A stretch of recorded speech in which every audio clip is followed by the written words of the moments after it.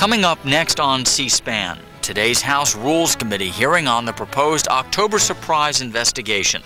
The committee is preparing a task force to look into allegations that members of the 1980 campaign staff of Ronald Reagan held secret negotiations with the government of Iran.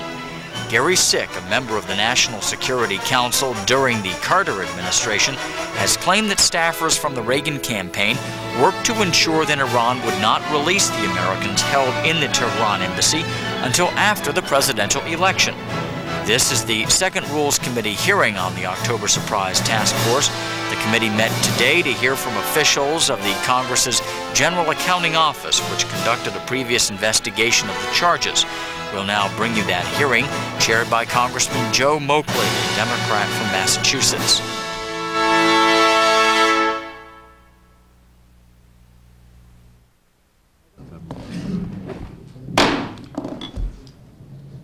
The uh, Committee on Rules will almost come to order. Where is everybody? One, two, three, four, five, six. Oh, I'm sorry. Rules Committee will now come to order.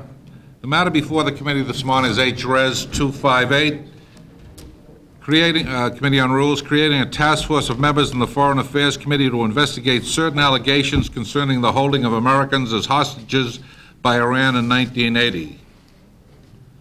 Pursuant to House Rule 11, Clause 2J1, the minority members of the Committee on Rules have requested this additional hearing relating to House Resolution 258, creating a task force to investigate allegations that the 1980 Reagan presidential campaign was involved in efforts to delay the release of the American hostages in Iran.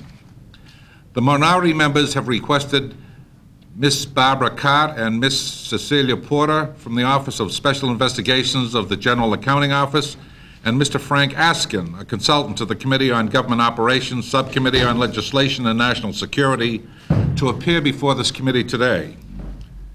The minority members assert that these witnesses have already looked into the allegations concerning a possible deal to delay the release of hostages struck by the 1980 Reagan-Bush campaign organization.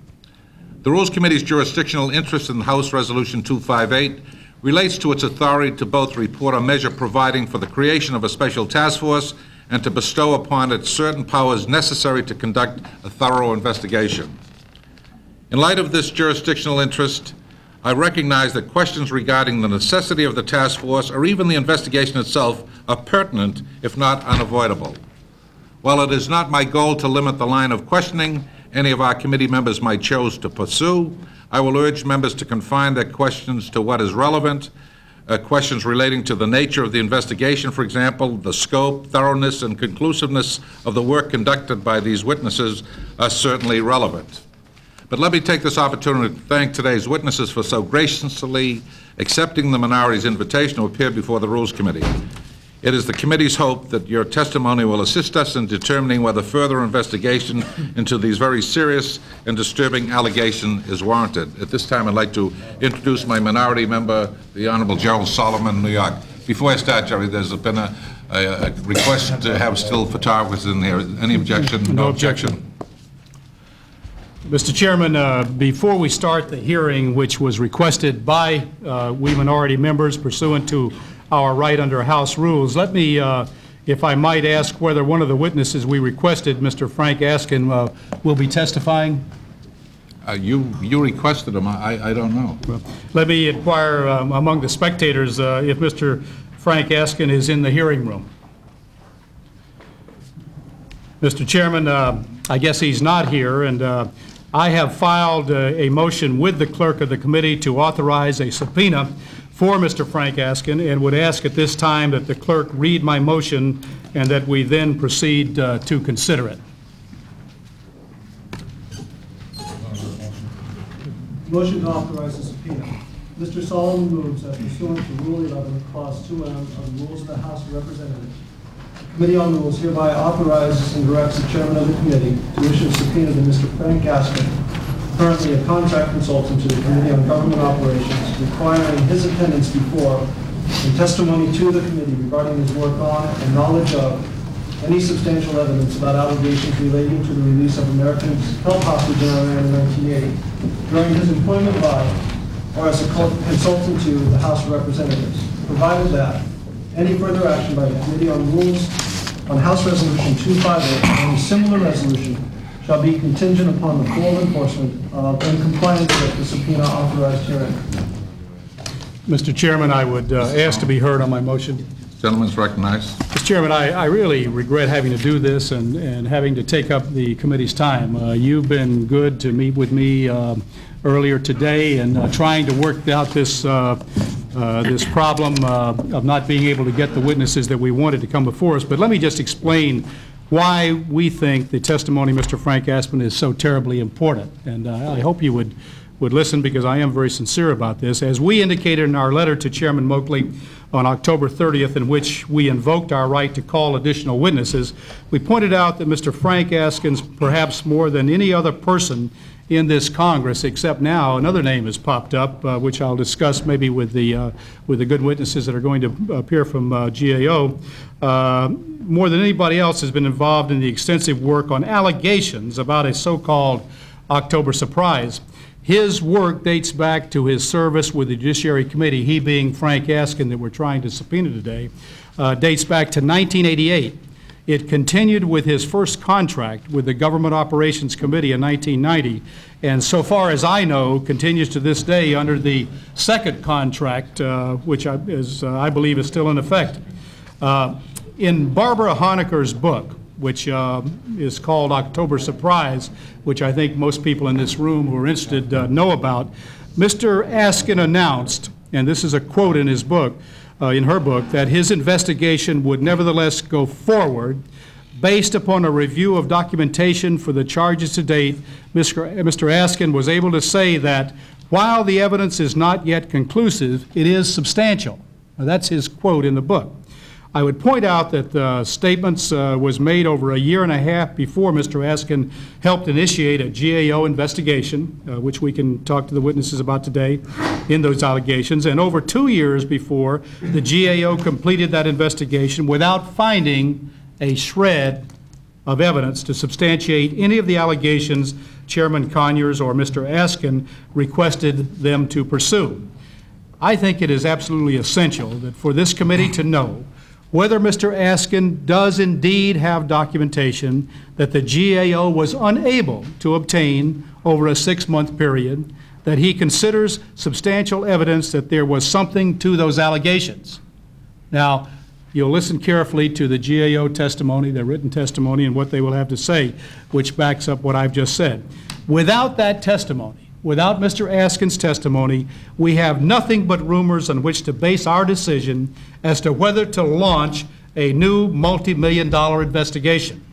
That is an unacceptable basis for me, as a member of this House, or for this minority side, to support an investigation, and I think it would be unacceptable to the American people as well that we would be wasting taxpayers' dollars on such groundless rumors, and at the appropriate time, maybe I'll read you a letter from uh, Kansas, not one of my constituents, another one from Jacksonville, Florida, uh, people who just highly object to this terrible waste. My colleagues are aware, both the New Republic and Newsweek this week contained lengthy investigative stories on the so-called October surprise, and both came to the same conclusion. These two magazines, which I would be glad to give to any of you if you don't have them, in which they say in their conclusion, quote, the whole thing is a myth and a fabrication with nothing whatsoever to back it up. Turning to our specific request, let me say that Chairman Conyers has no grounds on which to prevent Mr. Askin's testimony before us. He cannot invoke, he cannot invoke the speech and debate clause or congressional immunity or congressional privilege to block Mr. Askin's appearance. That provision of the Constitution only applies to persons outside of the Congress who try to question members or staff regarding their legislative activities. The Rules Committee is not another place. This is part of the same House that the Government Operations Committee is a part of. And I would refer, refer my colleagues to Hinds Precedents, Volume 3, Section 1777, and a precedent cited in the House Manual at Section 346. In both instances, one in 1837 and the other in 1923, members of the House were summoned before House committees. Members of the House, not employees, were summoned before House committees to testify on charges that they had made about certain executive branch officials. Now, in both instances, Mr. Chairman, I know you want to be fair, the members attempted to invoke their constitutional privilege or congressional immunity against testifying. In the first instance, the committee found that such a position was not, and I quote, just or reasonable. And in 1923, uh, another case which involved a subpoena of the member by the Judiciary Committee, the committee said in its report, and I quote, "Your committee is of the opinion that Mr. Keller was legally required to obey said committee and that the excuse submitted through his said attorney is without merit." Now, if a member cannot refuse a summons before a committee of his own house, it is preposterous to think that a staffer can be above that process. In fact, I've been informed that several years ago, the Government Operations Committee, the same committee that won't come before us today, had a staff member of the Post Office Committee brought before them, and that staff committee did come in and testify. So if you're looking for precedents, the Government Operations Committee is probably a good place to start. It can hardly turn around and say it cannot do what it has required a staffer on another committee to do. And finally, Mr. Chairman, and I'll wrap it up, I would point out that Mr. Askin is not even considered a committee employee under House rules. He is a contract consultant. He is a hired consultant, and according to House Administration Regulation E2D, and I quote, "The consultant is to act as an independent contractor and not as an employee of the committee." In this regard, I would point out that those same regulations require that consultant contracts be approved by a majority of the committee. And with respect to Mr. Askin's contract in 1990 and 1991, both were co-signed by Chairman Conyers and Ranking Republican Horton. I've asked Congressman Horton in his capacity as the co-signer of that contract whether he would have any objection to Mr. Askin's appearance before our committee. He responded on November 5th, and I quote, I have no problem with Mr. Frank Askin testifying before your committee to discuss his knowledge and his work on the alleged October surprise and the work on the Government Operations Committee in this area. And his letter goes on, and I think this is significant to note, Mr. Chairman. Neither I nor any member of my staff were informed by Chairman Conyers, Mr. Askin, or anyone as to the existence and nature of this investigation at any time during its course. Mr. Chairman, I really think we must recognize that all of our committees and all of our staff are agents of the House, and they are not autonomous entities answerable to no one. If our committee has a legitimate concern and jurisdiction over a matter, as we do with this one, and we need information or testimony in the possession of another committee, another member or their staff, it is appropriate for us to ask, since we all work for the same institution, and our purpose is to make that institution work. To refuse such cooperation is contemptuous of this House, and the Judiciary Committee report of 1923, which I cited, makes that quite clear. And, Mr. Chairman, I'd be glad to yield to my colleague. I, uh, I thank my friend for yielding, and Mr. Chairman, I'd like to uh, associate myself with the very cogent remarks made by uh, our distinguished ranking member here. And in your opening statement, Mr. Chairman, you said these are serious and disturbing allegations. These, I wrote that down when you had said that. And it seems to me that if these are, in fact, serious and disturbing allegations, that we have an obligation to do everything that we can to get to the bottom of this. Having listened to reports, having read the articles in the New Republic and Newsweek, having looked at the kinds of hearings that have often been held by congressional committees in the past, I've concluded that it would be a horrendous waste of taxpayer dollars for us to pursue this. But for us to pursue it without even having the opportunity to hear from a witness who would be very important in the decision-making process, I think would be a great disservice to this committee. And I hope very much that this committee will support the resolution of the gentleman from New York. Uh, In response to the gentleman's motion, uh, the gentleman from New York and I met with Mr. Conyers, and we talked about Mr. Askin. Mr. Conyers said that Mr. Askin didn't know anything about it. His name in that book, he refuted it. He said that he hadn't given nobody any authority to have his name placed in that book. He knew nothing about it. Uh, And I think even at this time, uh, we have five witnesses to appear before the committee before Mr. Askin, and I think maybe your motion at this time may be premature, because we, unless you know that Mr. Askin definitely is not coming before the committee, it's something I don't know. Well, Mr. Chairman, I, I did, uh, out of courtesy, because I appreciated the, uh, the way that Mr. Conyers uh, conducted himself in our earlier meeting, and he was a gentleman, and I, I appreciate that among all members. Uh, I just had a, a conversation with him on the floor because I had not heard back after I had called and said that we, we had to go ahead and have him come before us and cited our reasons, and he informed me that he would not be here. He And that's why, okay. All right. uh, why I have to make the motion that I make right now. Well, in response to the minority's request that this committee issue a subpoena to compel the presence of Mr. Frank Askin before the committee, I would like to express the following concerns. First, I'd like to make it clear that invitations were extended to those persons designated by the minority. Moreover, the minority drafted its own letter to Mr. Askin. The testimony we will hear from the General Accounting Office today will indicate that the investigation was done in strict compliance with the GAO's operating procedures. Moreover, there is no suggestion that the Committee on Government Operations used the General Accounting Office in a way contrary to the GAO's relationship with any other committees. The information that the minority members seek to obtain from Mr. Askin would be more, would more properly be obtained from Chairman Conyers himself.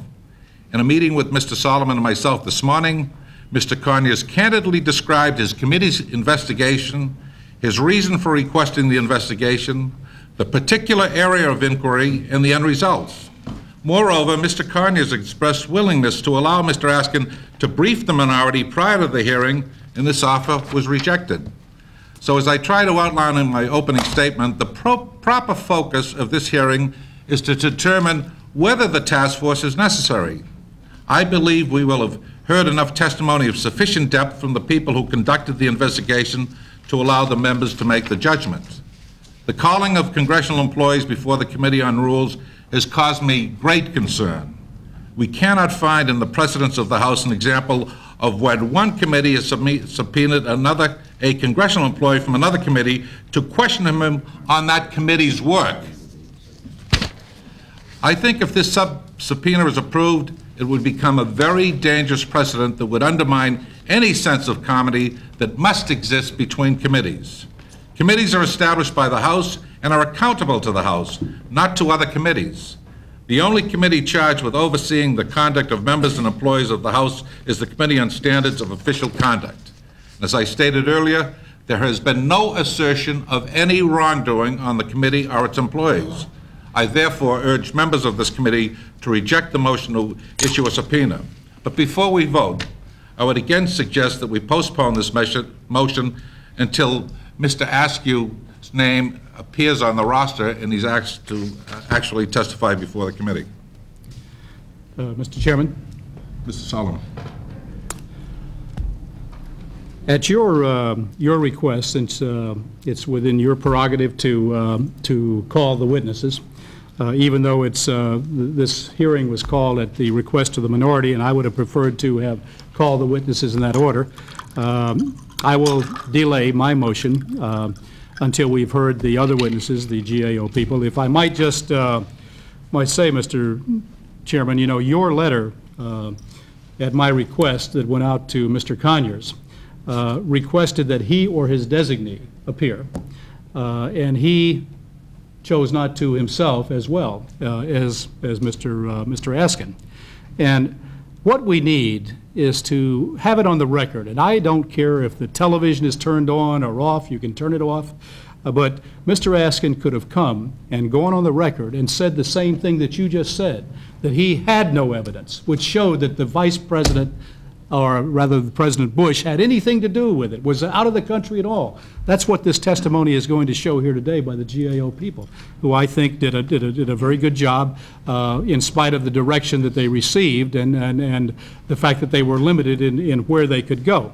Uh, They did a good job. But that's why we wanted him here, to go on record to say that all of these accusations that he claimed to have in his possession actually weren't there, and now he admits it. But yet he won't come before this committee, he won't even give us anything in writing to submit for the record. And that's why I just really feel uh, upset that, uh, that we aren't going to be able to bring him, I- which I assume you will be voting down the, uh, uh, the motion. But uh, I will, at your request, uh, delay this motion until we've heard the, uh, the witnesses, and then at the appropriate time, I would ask to be recognized to make my motion, if that's all right. The gentleman yield. I'd be glad to yield to the You Chairman made some Burns. very valid points.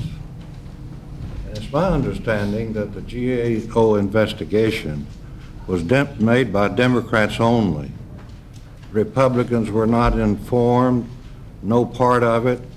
And here we have a motion made by Mr. Solomon, and in effect, it's turned down, which would indicate to me it's entirely a partisan matter. And I, I feel disturbed that the minority doesn't have the right to bring in someone to testify. And if he should not come in voluntarily, I will join you, Mr. Solomon, and the others on this side to see that he is brought in, because any investigation spending millions of dollars, and don't kid yourself, it will be millions of dollars, should not have a partisan tinge to it whatsoever. It should be factual. And if Ronald Reagan is brought into it, I think President Carter should be brought into it. And I think it's a matter of, of opinion on both sides, and I think each side is very sincere, and I don't question anyone's uh, stand in this regard, but I do think we ought to go forward to hear the witnesses as has been requested by the minority. Thank you for yielding. Uh, In answer to the gentleman from Tennessee, it's not unusual for minority or majority people to have GAO work on a matter without consulting the other side. This isn't something brand new. This, this happens very, very often. Mr. Chairman? Mr. Dreier? I'd just like to say that in light of the, uh, the statement of the gentleman from New York that he's going to withhold his uh, motion, I'd like to withhold my support of his motion until he makes it. Uh, Mr. Derrick? Any, Mr. Beilenson have any statement? Mr. Frost? Anybody have any statement? Mr. Chairman? Yes, Mr. Solomon. In light of the, uh, what's just transpired and withholding my motion, I would like to uh, indulge the committee to make an opening statement on the uh, the legislation before us that we're going to mark up and the, uh, uh, and the witnesses that are appearing before us. Might I be recognized? You may be recognized. Oh, Would you like to, I'd be glad to yield to you. Okay. Mr. Chairman, given what has just transpired, let me, let me just say this. The Rules Committee has been asked by the Democratic leadership to create an October surprise task force with unlimited funds, unlimited travel authority, unlimited staff, and unlimited time to investigate a pack of wild rumors about things that might have happened over 10 years ago. If I were a little more cynical and uncaring about the taxpayers' dollars, I was sent here to protect. I might just sign on as a member of this task force, since it will apparently be checking out a lot of hotels in Paris and Madrid. Maybe it'd be nice to travel over there, I don't know. But that's not why I was sent to this Congress.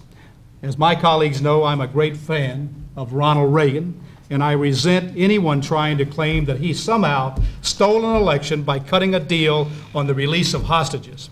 But like him, I would rather the rumors be checked out and dispelled than remain hanging over his head for the rest of his life, because I admire him too much. Much against my own heart, I was willing to allow this task force to be created to attempt to get to the bottom of all of these if it was going to be a fair, an honest, objective, and a bipartisan investigation.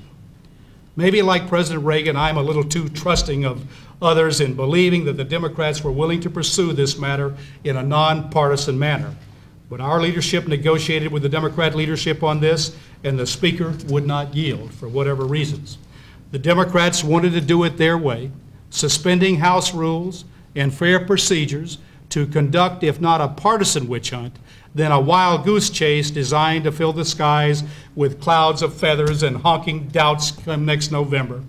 Moreover, the Democrat leadership refused to allow the inquiry to cover the Carter administration and his campaign, even though the GAO recently told us that it would be essentially essential for any thorough investigation that it look at contemporaneous efforts by the government to secure the release of the hostages. Cover it both ways.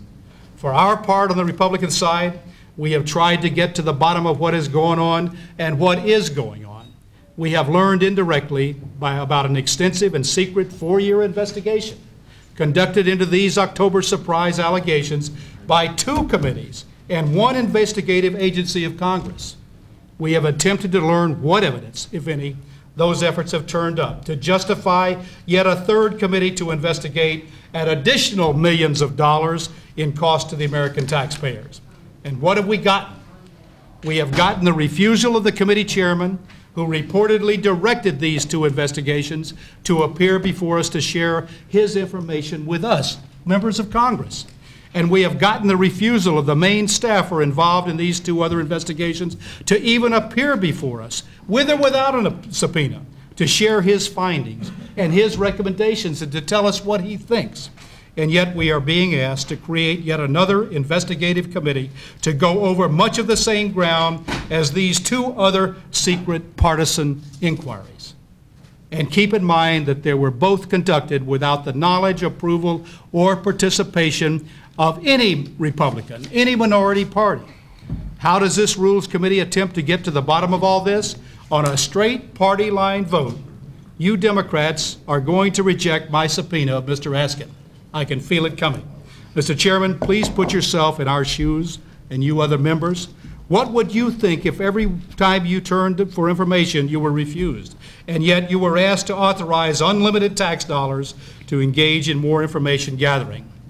One might conclude that those who are refusing to appear before us either have something to hide or have nothing to offer. In either event, that is hardly a strong basis on which to proceed with a further investigation. I personally talked to Chairman Conyers this morning, and I believe him when he says, and I quote him, they have nothing to hide, and furthermore, that they have found nothing as a result of their four-year investigation. John Conyers is a real gentleman, and I don't think he would mislead us in that way. On the other hand, we do not know how much information his contract consultant has gathered. We have been informed today by Chairman Conyers that Mr. Askin claims he never stated in 1988 that he had substantial evidence regarding these allegations, yet he told the GAO he did, and he got them to go out and do all this investigation based on that information. I think it's important to get that on record right here today under oath so that we know conclusively that there is no substantial evidence behind these allegations. That was the reason for our subpoena request, and that is why I refused to settle for just a private meeting with Mr. Askin. Chairman Conyers has now informed us that he has found nothing. The GAO is about to testify it has found nothing. And now two magazines this week have cover stories, and those are pretty reputable magazines, one liberal and one moderate that they have come to no conclusion that there is indeed anything at all there. Here's the New Republic's November 18th issue. I just showed you. What October Surprise it's entitled, an article by Steven Emerson and Jesse Furman. Let me just quote from one paragraph on page 16. You gentlemen have all read it, but you other people haven't. But the truth is, they say, the conspiracy as currently postulated is a total fabrication. None of the evidence cited to support the October surprise stands up to the scrutiny, and I'm still quoting. The key sources on whose word the story rests are documented frauds and imposters. And here's the November 11th issue of Newsweek magazine. Newsweek magazine that reads, quote, the October surprise, the charge, treason, the evidence, myth. That's their headline. Let me quote from a paragraph on pages 18 and 19 of that article. This is a quote. Newsweek has found, after a long investigation, including interviews with government officials and other knowledgeable sources around the world, that the key claims of the purported eyewitnesses and accusers simply do not hold up.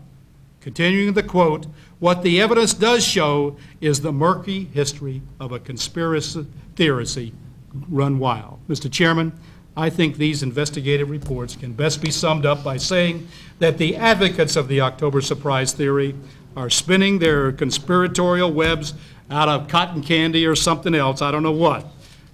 and I, for one, will have nothing to do with authorizing yet another taxpayer-funded magical, mythical tour into this kind of conspiracy. I appreciate the uh, committee giving me the time to uh, vent my feelings, but I really am annoyed that we can't get to the bottom of this by having employees or consultant contractors come to us and level with us so that we can put it on the record. Thank you, Mr. Chairman. Mr. Derrick. Thank you, Mr. Chairman. I had not intended to make an opening statement, but uh, I thought I might, uh, might make one just the same, since Mr. Solomon found it necessary uh, uh, to do so. I am not an advocate of anything other than the integrity of this country. And I hear that this is going to cost too much and that is going to cost too much. We're all conscious of dollars. But I want someone to put a price on the integrity of the United States of America for me. I don't think it can be bought and sold, and I don't think it can be measured in dollars and cents. Very responsible people have come forward with information that would indicate that this matter needs to be investigated. I do not know whether it is true. No one knows whether it is true. U.S. News and World Report and, and uh, uh, the New Republic and other magazines can spin what stories they may. But that is all that has happened in this entire investigation is the spinning of stories on both sides of the issue. To say that there has been a four-year investigation uh, is questionable. There has been no investigation of this. As these uh, uh, ladies and gentlemen will testify here in a few uh, minutes, this was no investigation of October Surprise. No one in this October Surprise event who represented in any committee, did any investigation, has ever been put under subpoena, I mean, has, has been subpoenaed. No one has ever been put under oath. So what we have is two conflicting uh, stories here. And as far as I'm concerned, it behooves the integrity of this country, the integrity of the Congress, to investigate, uh, to come to the truth of the matter. As the chairman said in the very beginning, uh, this is a very serious matter. If these charges are true, it comes close to treason. If they're not true, then those who have been suggested uh, to be, uh, have been incorporated in this, need to be cleared as well. If these charges are true, it goes to the most prized possessions of the democratic process, and that is the circumvention of our electoral process. Now, I don't know whether these charges are true or not, but I think it behooves us to find out if they're true. Because if they are true, this nation has been done a tremendous injustice. The democratic process has been done a tremendous injustice. So let's get ahead with the uh, investigation. Let's find out if they are true and set the matter to rest. Thank you. Thank you. Mr. Quillen, do you have an opening statement? Following through it, my remarks a moment ago, you know, 10 years ago, this is supposed to have occurred. I wonder if it's a coincidence that the investigation is being asked for just before a presidential election. I think the American people are going to look at this matter as entirely a partisan thing, and I would hope this Rules Committee, Mr. Chairman, would delete that perception so that we can get down to the facts in the case, irrespective of politics. I think if the investigation was made by GAO and there was a taint or just a, a a rumor that something had gone wrong uh, dealing with the hostages. The investigation should have been years ago, certainly months ago.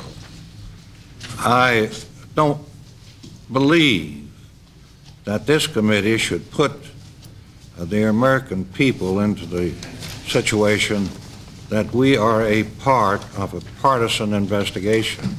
Somehow, the uh, record should be made to demonstrate that, and I hope before this committee acts one way or the other that we can do that, and I would plead with you, Mr. Chairman, that something be done to take it out of the partisan stage and really get down to an investigation that all of the people of America would applaud rather than having a perception that it is absolutely partisan.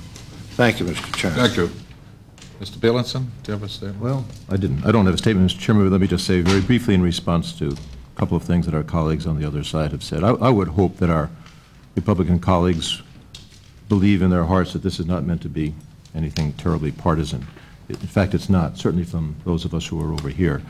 And as a matter of fact, last week, when we first examined this whole process or the potential procedure, I thought we had a very nice nonpartisan kind of discussion, especially between Mr. Hamilton and Mr. Hyde, who are apparently intended to be the, the chairman and the ranking members of, of the task force, if in fact we, we authorize them to, to go ahead. So I hope after we get through the difficulties of today or perhaps next week and whenever we finally make our final decision here in the Rules Committee on this matter, that we'll settle down to business, that the task force will, I'm sure it will, and they'll carry on quite well together in a collegial manner. There's no real question that Mr. Hyde, Mr. Hamilton, and, the, and their colleagues who are about to be appointed to that task force will, will, will get along well. They're an extraordinarily able group of people, and, and I've got no, you know, I, I don't have any worries about it thereafter. But I don't want people to think that we're going into it in, in, in, in that manner. Our colleague from New York, our friend uh, Mr. Solomon, said at the very outset today, 25 or 30 minutes ago, in referring to those last week's, I guess, or earlier this week's um, articles in both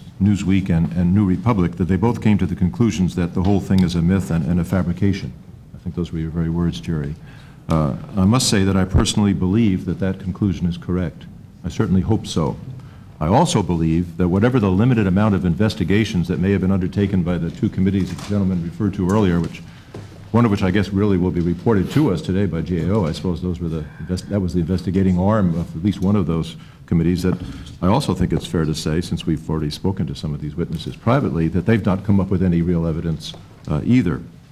But we've always known, I think it's fair to say, we've always known that that was the, the situation, that that was the likely uh, truth of the matter, that this is a very unlikely, uh, this allegation uh, is very unlikely to have been, or these allegations very unlikely have been to, to be proven out to be true. But we also know and continue to know that there are a lot of people out there, fortunately or unfortunately, in, the, in this country of ours who continue to believe in these things. And we do believe, all of us on this side, and I, am sure you said it yourself, Mr. Solomon, and Dave Dreier too, I think that it would be in the best interest of, of the nation and its politics if we could finally lay some of these questions to rest. And we are all hopeful, frankly, that if and when this, this task force gets uh, uh, gets going, that uh, it's in the final analysis, that's exactly what will happen. That will be a very good thing for all of us. So please don't misunderstand our motives. They're certainly not partisan, and I certainly hope, as I suggested just a moment or two ago, uh, that it turns out that neither our former president nor any of the folks who were associated with him had anything to do with any of these allegations. Well, the gentleman here, Of course. I don't want to interrupt him because Of course, no interrupted me. gentleman- the gentleman's finished.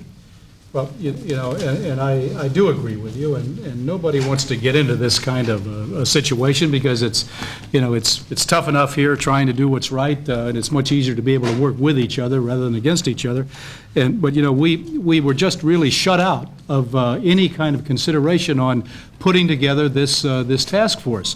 Uh, We had recommended that uh, we include the Carter situation because the time goes back, and Tony, we were shut out of that. We weren't even given a consideration. We wanted to limit it to six months and then re, uh, then continue it if necessary, so that we didn't get into this uh, $20 million expenditure, you know, of the taxpayers. We wanted to make it a joint uh, uh, investigation with the Senate. Uh, We wanted to do as we usually do on, on task forces like this, to have an equal five and five, or eight and eight members. And yet, we are, we're being shut out of that. And that's what, uh, you know, that's why we, we are so cynical, and, and I don't want to be. I, I want to try to cooperate in any way we can. I said I wanted to get to the bottom of it because I love Ronald Reagan. I, I want to see his name cleared.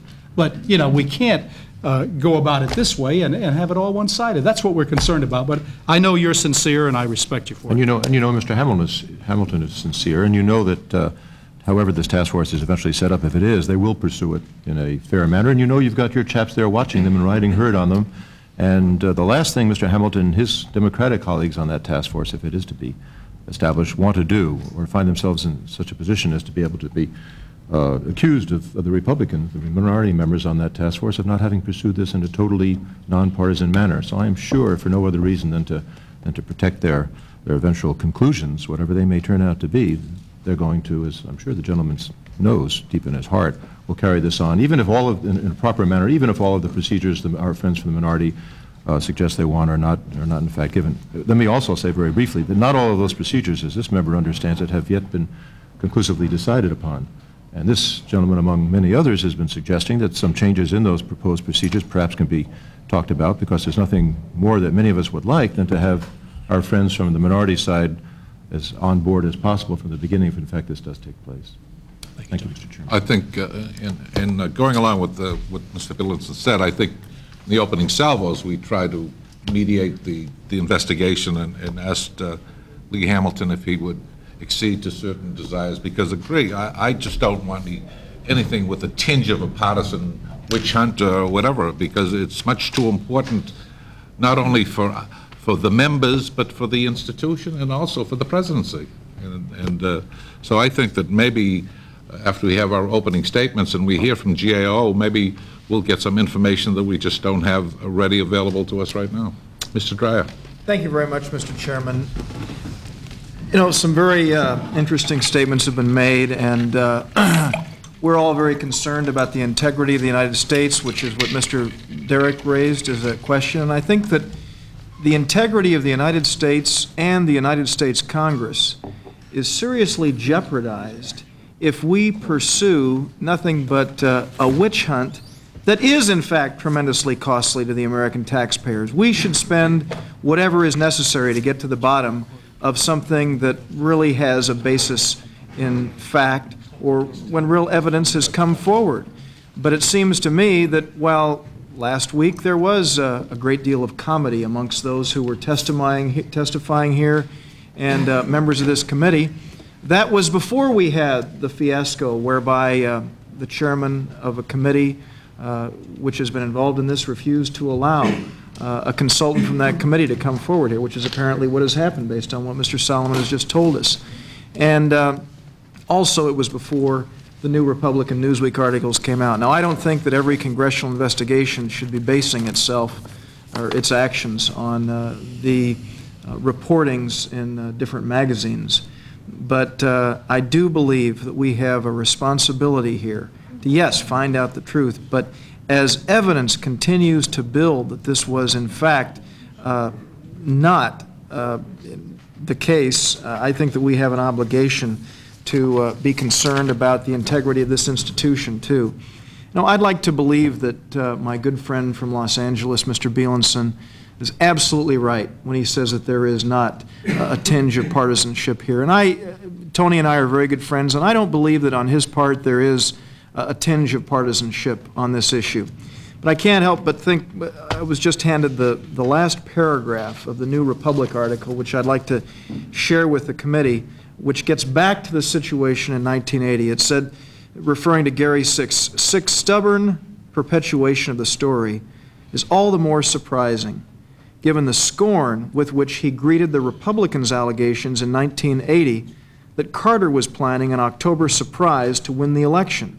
Six years ago, writing to the Council of Foreign Relations, he declared, in the last few months before the presidential elections, there were spurious reports that the Carter administration was planning a spectacular military operation against Iran. The so-called October surprise allegedly, allegedly would be intended to win votes for the president. The story was a total fabrication. It was promptly denied by the White House, and a number of responsible newspapers refused to print it. Nevertheless, the story received widespread attention and soon developed a life of its own. And my concern, Tony, is that that's exactly what's happening here. Even though time and time again we have had evidence which has come forward to us that it is not the case. And that's why I think that as we continue to talk to the American people, I have over the last few weeks talked to many people, and we have the letters here to which Mr. Solomon referred earlier uh, that have come from across the country.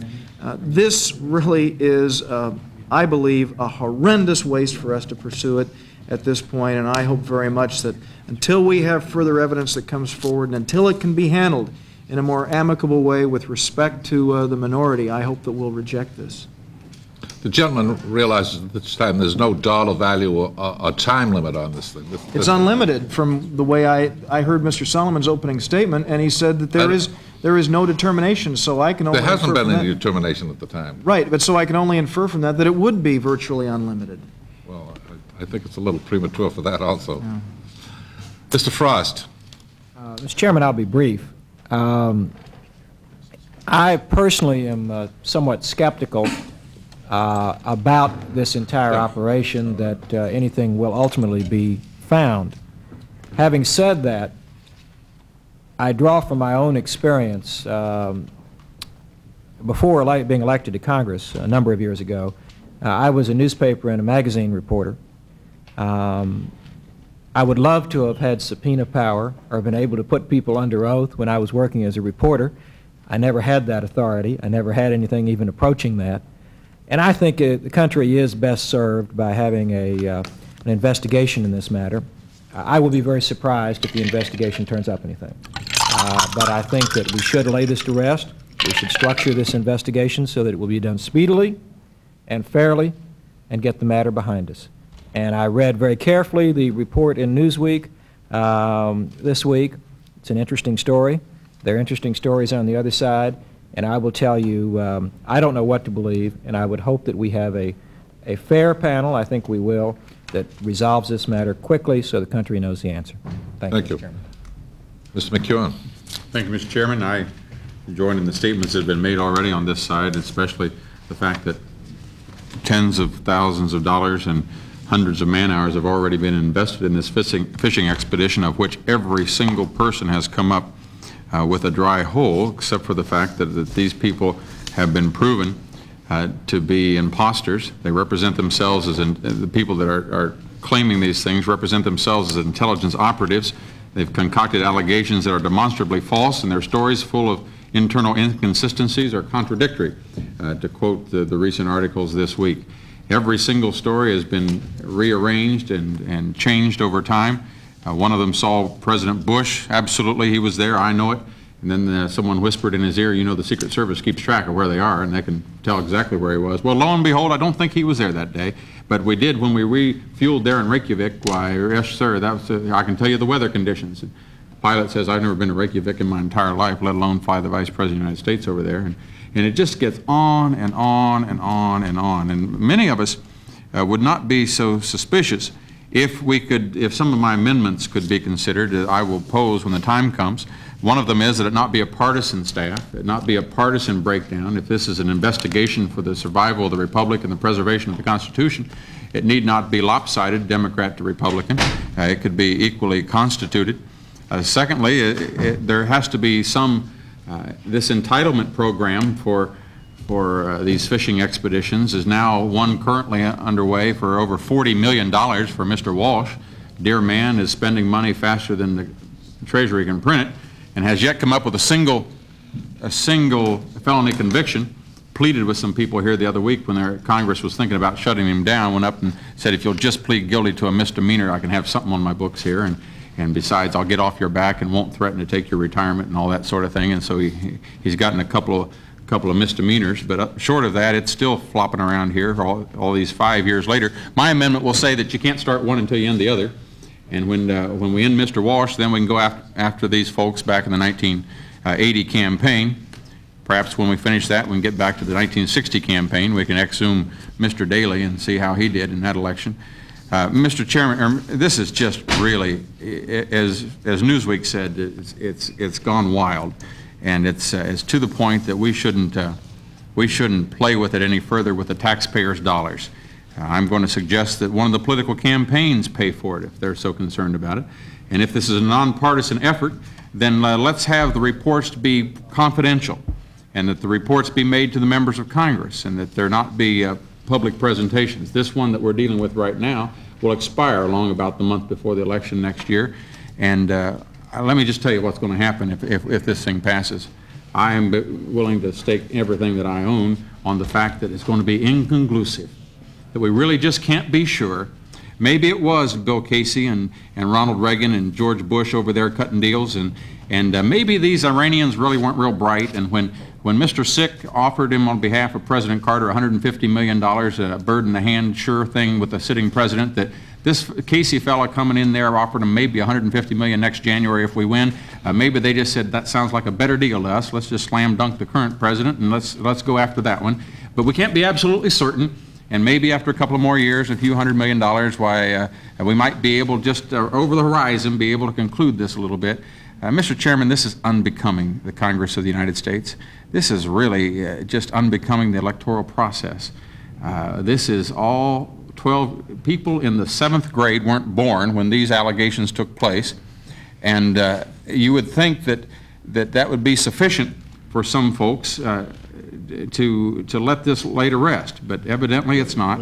And so my final uh, amendment will be that if we're interested in getting to the facts, we had great pontifications on television and elsewhere over the last, uh, over the Iran-Contra hearing, which was our 1988 exercise. That was for the 88 campaign. Now we're in the 92 campaign, so we're now nothing fresh, and so we're going back to 1980 to use as our, as our platform for the 92 electoral process funded by the taxpayers to attack the sitting president. But uh, one of my proposals will be that, uh, that uh, those people that are, are involved, that those who stand to benefit would be, would pay the bill, and that also that it would be restricted to one at a time, and then finally that, that the reports come, come in a classified manner, and unless that be the goal of, uh, of the public uh, presentation, the public pontification. So with that, Mr. Chairman, I, uh, I wish you success. You can't make, uh, can't make a silk purse out of a sow's ear, and it's going to be very hard to make this fishing expedition look respectable uh, when it's obviously established for such purposes as, uh, as we see that it is established. Thank you, Mr. Chairman. Mr. Wheat. Thank you, Mr. Chairman. Uh, Mr. Chairman, none of us relishes or uh, is enjoying the process by which we are uh, establishing this committee to in investigate these very serious allegations. And it appears from some of the comments today uh, that we are going to enjoy it less as time goes by. Uh, but nonetheless, it is our responsibility to make sure that the serious questions that have been raised do get answered. We hope the answers will be that no one inside or outside of the U.S. government in any position of responsibility ever jeopardized the lives of, of U.S. citizens. Uh, but I think the American people deserve an answer on that question. I think we can start to get to those answers if we actually listen to the witnesses that we've invited here today, as opposed to making more speeches, so I'll forego any further statement. I hope the witnesses offer more information to us than we do to them. Mr. Gordon. Mr. Chairman, very briefly, um, our colleague Jerry Solomon in his opening remarks said that these accusations were serious and disturbing. Uh, I certainly agree with that. I think that's the reason that former President uh, Ronald Reagan as well as former President uh, Jimmy Carter uh, have both requested uh, that these that these accusations be investigated and be resolved. Um, obviously, it has been a long time. Ten years is a long time. The longer we wait, uh, the longer it is, uh, longer it will be. And so I think we need to move forward. Uh, I share some of the skepticism uh, that I've heard on this committee, but I guess it was Shakespeare that said me uh, that uh, methinks you protest too much. Uh, as I listened to the minority uh, uh, uh, rant and rave about uh, this process, I wonder uh, maybe there is something, or why do they protest so much? Uh, so certainly, let's get on. Let's move on with this. Let's have it fair, got the information and let's in get my it drawer. done. Ms. Slaughter. Mr. Chairman, I think I'm going to be willing to stand on the statements I made last week, uh, which basically summed up that I think we have a constitutional obligation here. And I support the task force. Uh, And I'm I'm surprised that we can't have some kind of open mind here and let the people come up with some uh, information and tell us one way or another. I mean, the prejudgment here, I think, is very unbecoming. Thank you. Unbecoming? The, uh, we're going to call uh, the people from the General Accounting Office, and and if they will come to the table as a panel, and and at least two of you will have to bring your own chairs. Miss Barbara Cott, Assistant Director for National Security, Office of Special Investigations. Miss Cecilia Porter, Miss Cecilia Porter, Special Agent, Office of Special Investigations. James A. F. Hinchman, General Counsel, and William A. Gherkins, Office of Congressional Relations.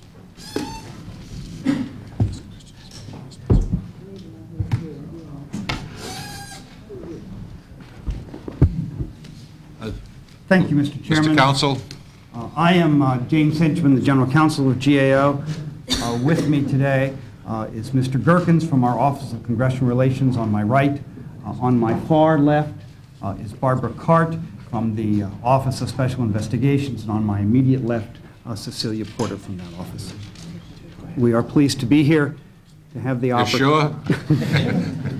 We are certainly honored to be here, Mr. Okay. Chairman, and I, I think, in fact, we are pleased to be here as well, and to uh, describe for you uh, the results and the scope of our uh, inquiry into a limited number of the allegations that surround this uh, general charge that in 1980 there were negotiations with the Iranian government for the purpose of delaying any release of Americans being held in Iran until after the November election.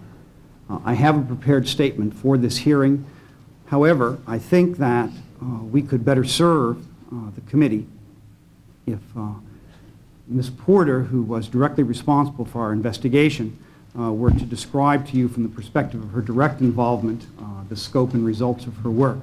If that's acceptable to the committee, I would ask that my statement be inserted in the record and that she be allowed to proceed. Yes, if if you just tell us your background, Ms. Porter, before you proceed with your statement. Okay. I'm a special agent with the Office of Special Investigations and the General Accounting Office.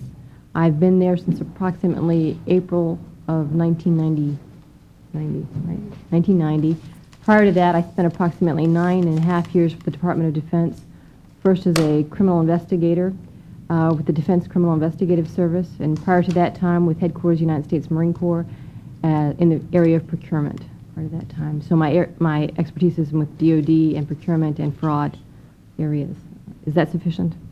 Do you, are you formal uh, educational background? Yes, I have a BA from the University of Virginia in Foreign Affairs, uh, as supplemented by numerous courses both in the procurement field. You have to have certification in that field.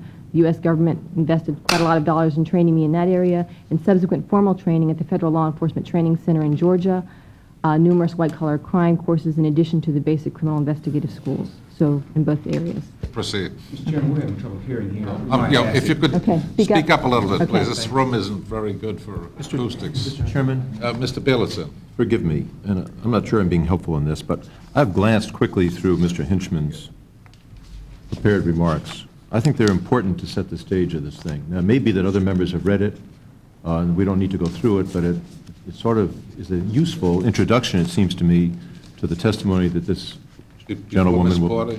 Yeah, I mean, unless she's going to be saying pretty much the same kinds of things, I think it sets the stage very usefully and very nicely. But it, it, I may be, it may be that you'll be saying these kinds of things too, that Mr. Hinchman had in his... Mr. Hinchman, you're familiar with you- what you say. Uh, Is Ms. Porter going to say approximately the same things that you have in your statement here? We will, of course, do whatever the uh, committee wishes, sir, but I think you'll find that uh, Ms. Porter's remarks will say the same thing, only in somewhat greater detail.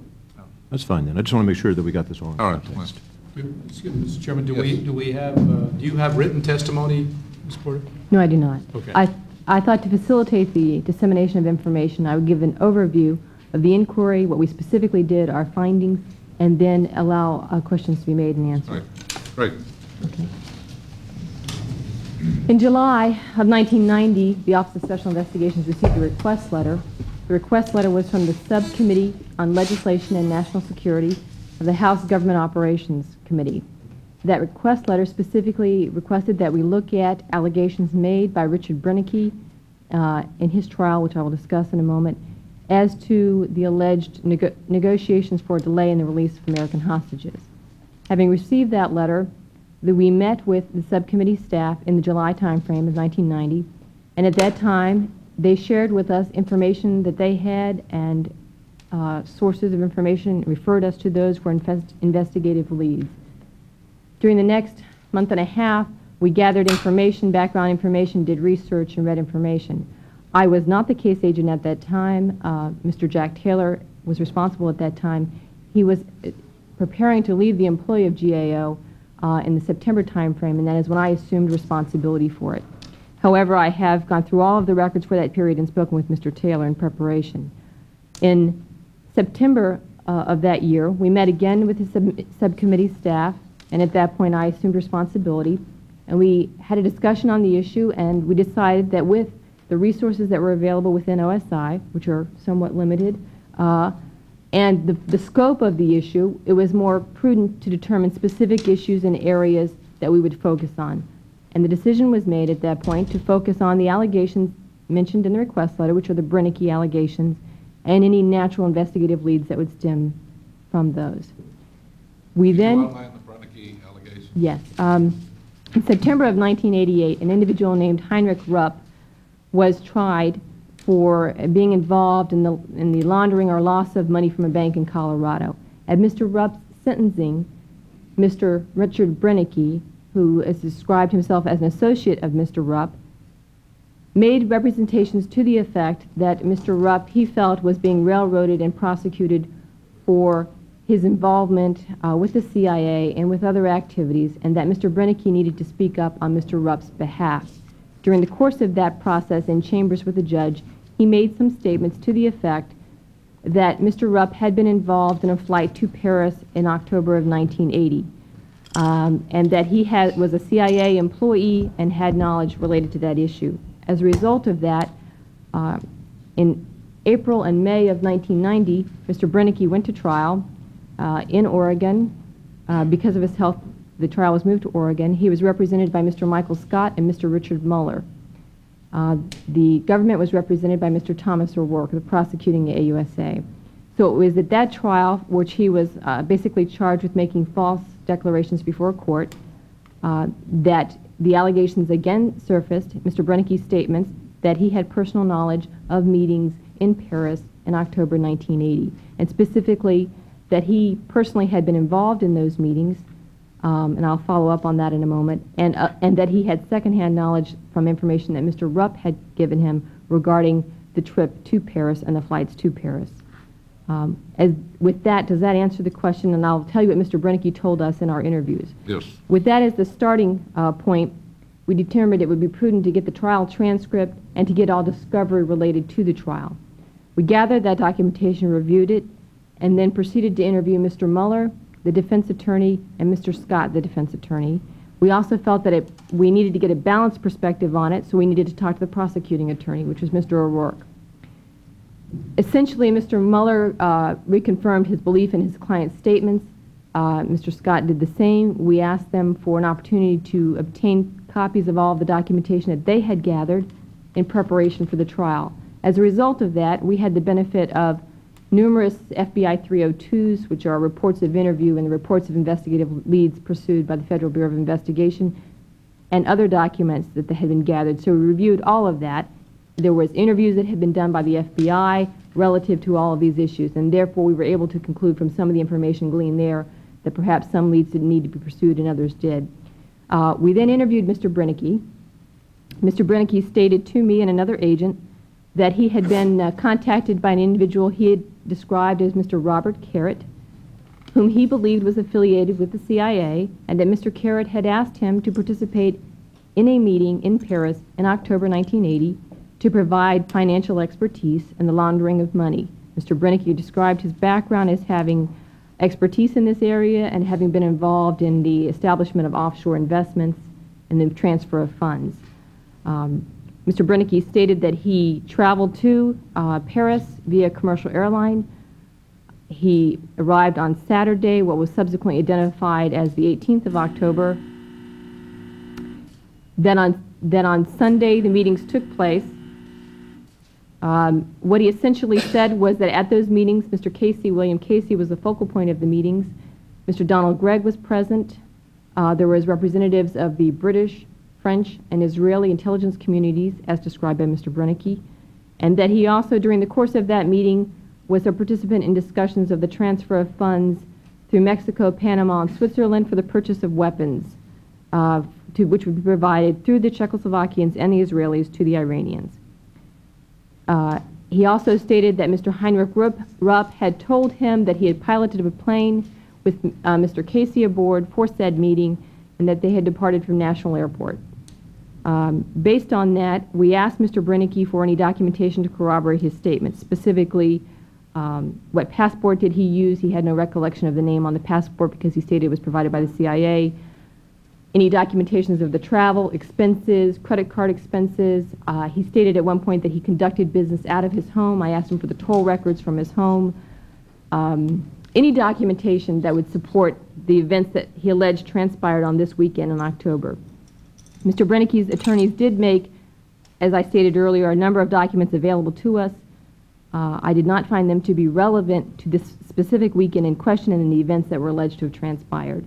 Um, After that, we traveled then to interview Mr. Rupp, who was also represented by Mr. Michael Scott. Uh, We wanted to get it firsthand and not rely on secondhand sources. Uh, Mr. Rupp declined several requests for interviews through his attorney, Mr. Scott. As an alternative, Mr. Scott provided a videotaped interview of Mr. Rupp, who was at that time in a, in a federal prison, I believe, uh, that he had made with a local news team. We viewed that videotape, and Mr. Rupp stated in that videotape that he had piloted a plane uh, with Casey aboard. He believed, subsequently believed was Casey, and that he had seen on the tarmac in Paris an individual that he was, I believe the terms he used, 98% sure was Mr. Bush. Um, in essence, then, we asked the attorneys for any corroborating documentation on Mr. Rupp uh, relative to his passport, flight logs, and other information. What we were subsequently provided were some airline identification cards, which his attorneys felt represented Mr. Rupp's connection with CIA proprietary airlines. Um, and we were also provided an envelope from a Paris hotel, which they said was the hotel that he stayed in when he was piloting the aircraft. There was no date or any other indication on that particular envelope.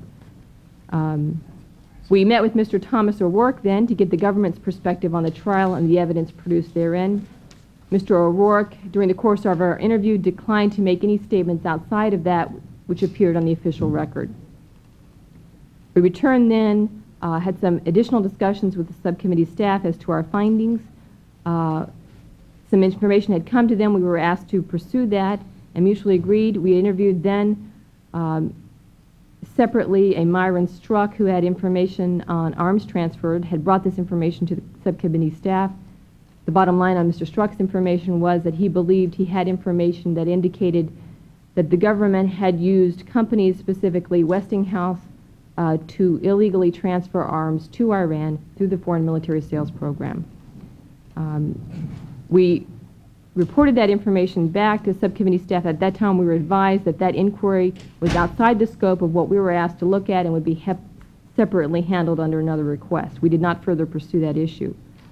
Um, we then tried to focus on following up on the on the Rupp and and Brenneke issue, any other corroborating information, specifically what were the planes involved, what was the route involved. Uh, we, I once again reiterate, I did not have the opportunity to speak with Mr. Rupp directly. I was given the information as to the tail numbers that were allegedly involved and as to the flight route allegedly involved. Using uh, five or six tail numbers, there was supposedly a BAC 111 and a Grumman Gulfstream plane involved uh, to carry the parties to Paris. We attempted to track down and locate those airplanes as the FBI had previously done. We identified one tail number as belonging to Tiger Airways, now then owned by Martin Aviation now. Um, they did not have any records on that. However, we subsequently located Kenneth, Kenneth Qualls, who was the operator for Tiger Airways, and he produced for us the flight log on that particular uh, aircraft. Um, the, that did not show any entries for travel to Paris on the weekend in question. The other aircraft, um, one was a foreign ownership, and thus the FAA does not maintain any information on it. Um, we also contacted the under one scenario depicted there was a refueling at Gander, and under another scenario there was a refueling at Reykjavik, Iceland. We contacted the Civil Air Administration in those countries, asked them if they had any records of planes with tail numbers of these, uh, of the ones involved or were allegedly involved landing at, during those dates. Uh, in one case, they did not maintain records back that far. I believe that was Gander. In Iceland, they had no record of planes departing or refueling or being, being serviced on the dates in question with those tail numbers. We also had information on what we were told was Mr. Rupp's description of the weather on the date in question. We checked the meteorological reports at both locations to see if they would coincide with what we were heard was the description of the weather, and they did not. Uh, That essentially is, is- is as far as the Rupp and Brenneke uh, pursuit uh, of information went. We then, uh, in the December timeframe, had dis- additional discussions with uh, the staff, and it was decided at that point to pursue issues of Mr. Bush's whereabouts, uh, then candidate Bush's whereabouts on the weekend in question. We were asked to um, meet with the Secret Service, interview their agents, and review their records. We did so. um, We interviewed Mr. William Hudson, who was a witness at the Brenneke trial. Mr. William Hudson and Mr. Leonard Tanis were the two Secret Service agents in charge of the protective detail for then-candidate Bush on the weekend in question in October 1980. We interviewed Mr. Hudson. Mr. Hudson had no specific recollection of the weekend in question. We interviewed, uh, at that point, however, we had other information, which were the Secret Service uh, protective activity summary logs. They had indicated that there was a stop or a motorcade at the Chevy Chase Country Club on Sunday, uh, the 19th of October.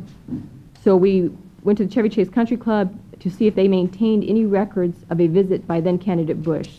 Uh, We spoke with the tennis pro, the golf pro, the general manager, and others in an attempt to ascertain what records would be available. The bottom line on that is that the club does not maintain records for that period. They do not have a get, photographs, guest log, or any other type of documentation that would have been available to document said visit.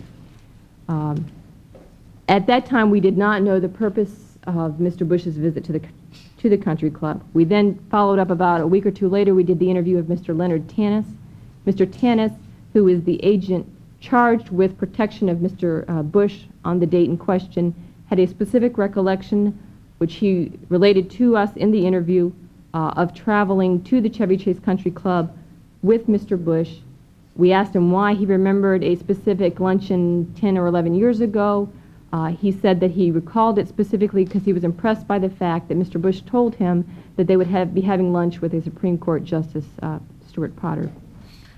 Um, It was his first visit there. and I believe it was also his first visit, and he was also a golf enthusiast, he indicated, and he was impressed by that.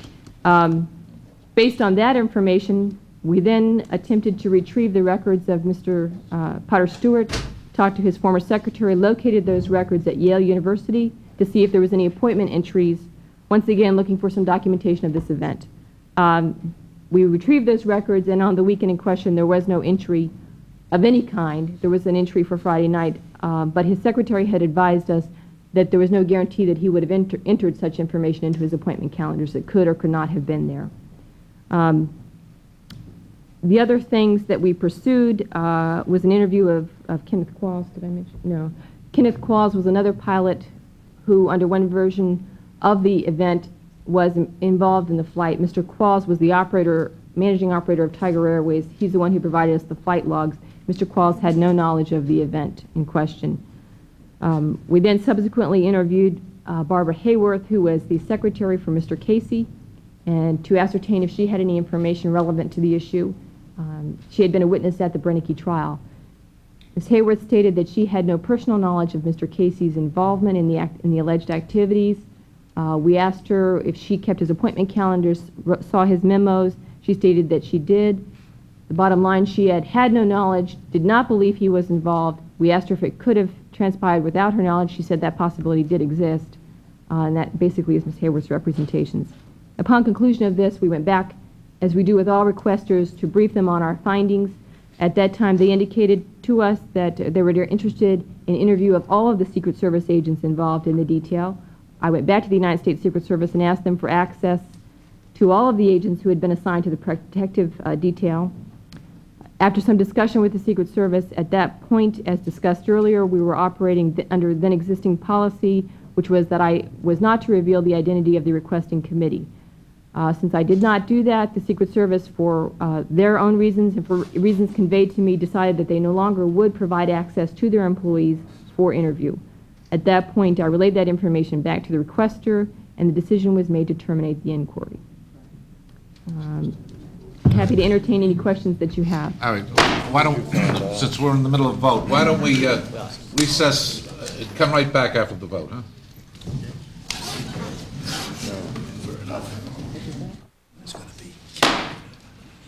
The Rules Committee will now come to order, and uh, on behalf, I I apologize to the witnesses. I would wish the membership would return quicker, and I hope if there's another roll call, that members will come right back. Uh, This could take a long time, and there may be other matters before this committee before the night is over. Uh, Have you finished testifying?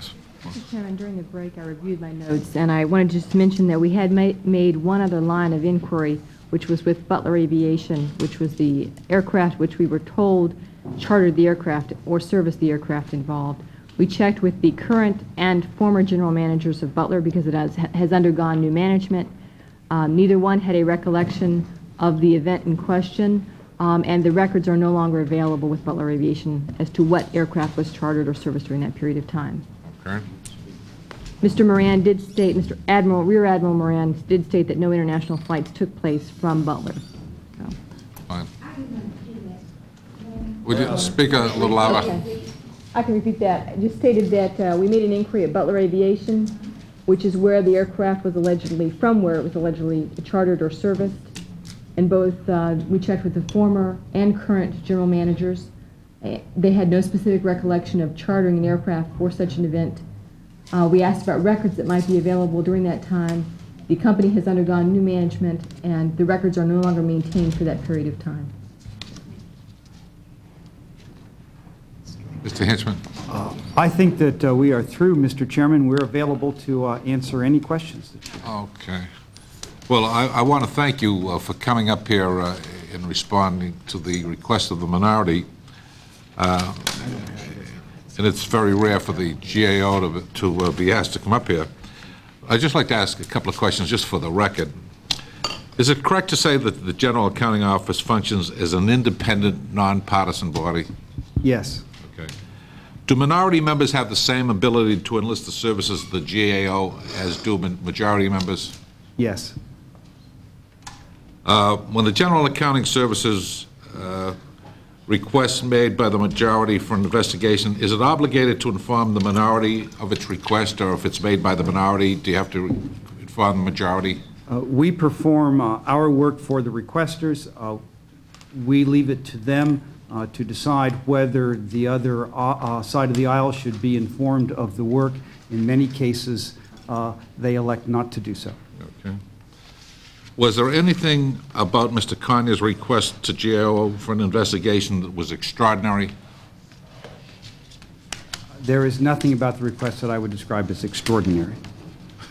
You know, some concerns have been raised about the fact that you didn't provide Mr. Conyer with a written report at the end of your investigation. Could you please tell this committee why a written report wasn't made? when this was always intended to be a limited and preliminary inquiry into a much broader range of, of, of issues associated with this general claim about the so-called October surprise. When we had completed our work, and, uh, in light of its uh, preliminary uh, character, uh, we jointly agreed, uh, we and the committee, that uh, a written report would not be appropriate. And, and Mr. Conyers' request was a very simple request. It was not for a full and complete investigation. Uh, I, it may be best to rely on the language of Would the you read the language of the request of Mr. Conyers?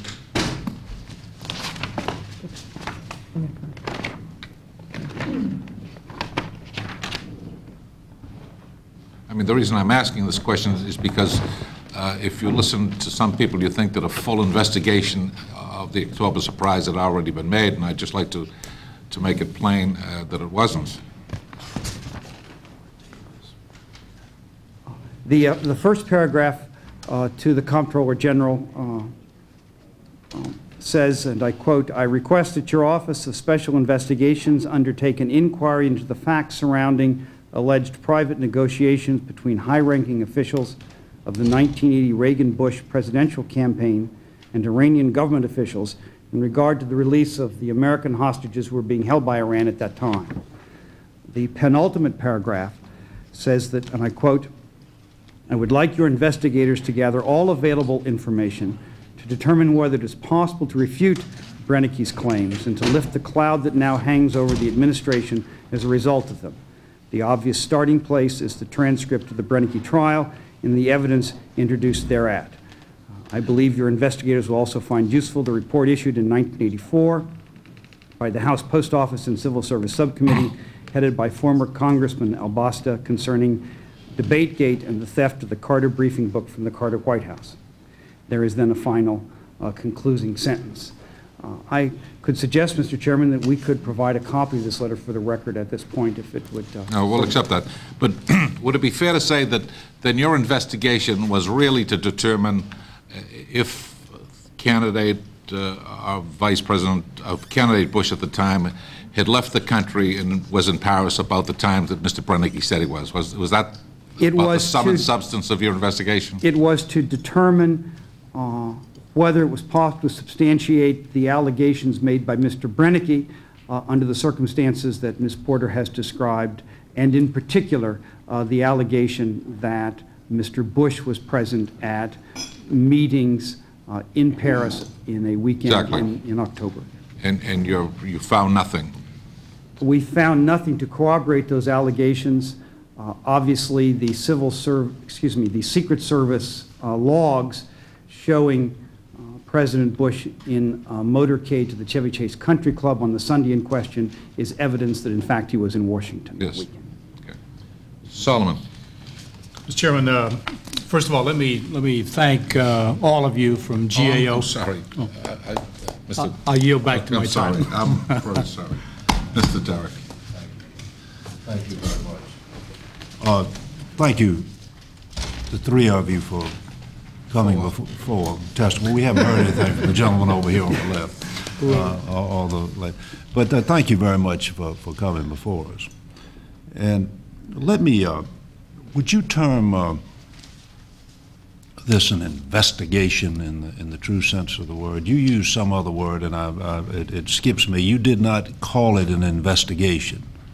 I Mr. have uh, frequently used the term preliminary inquiry. preliminary inquiry.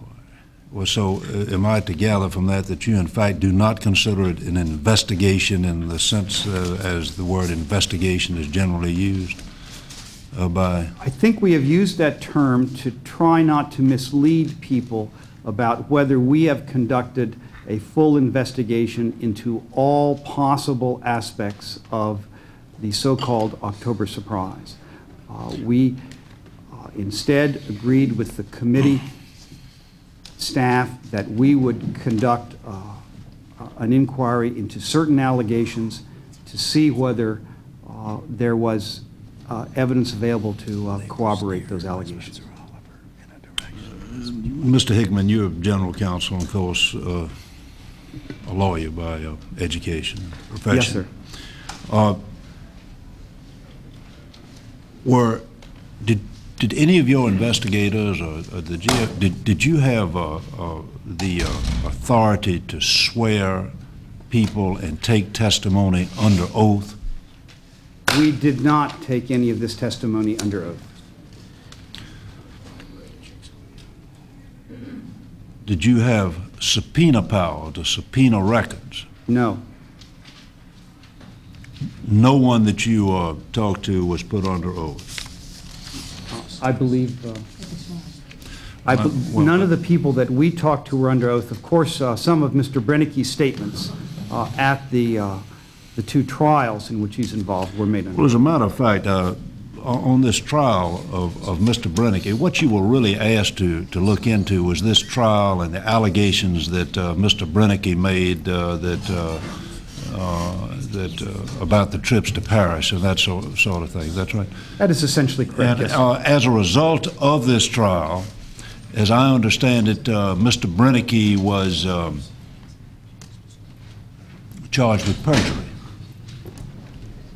He was actually charged with making a false statement in connection with the judicial proceeding, yes, sir. Not a whole lot of difference, is there? No, sir. Uh, Same thing. Yes, sir. Okay. Would you tell us uh, what the outcome of that charge was? Uh, He was acquitted. By a jury of his peers, is that correct? Or- That is my understanding, yes. That's right. A jury found that, uh, in fact, that, uh, or at least it couldn't be proved that these statements were not true that he made, that he was charged with on the perjury.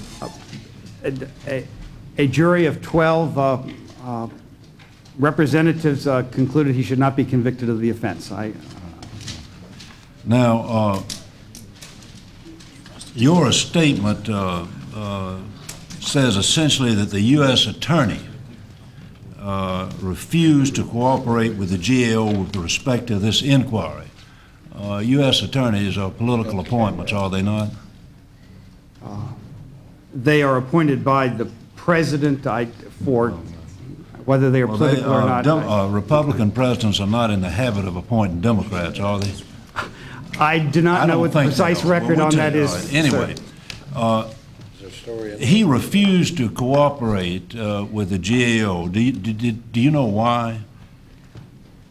I wouldn't, would you like to? Oh, oh, answer Ms. that? Polt, I'm sorry. Okay, I Either spoke with one. Mr. O'Rourke, yes.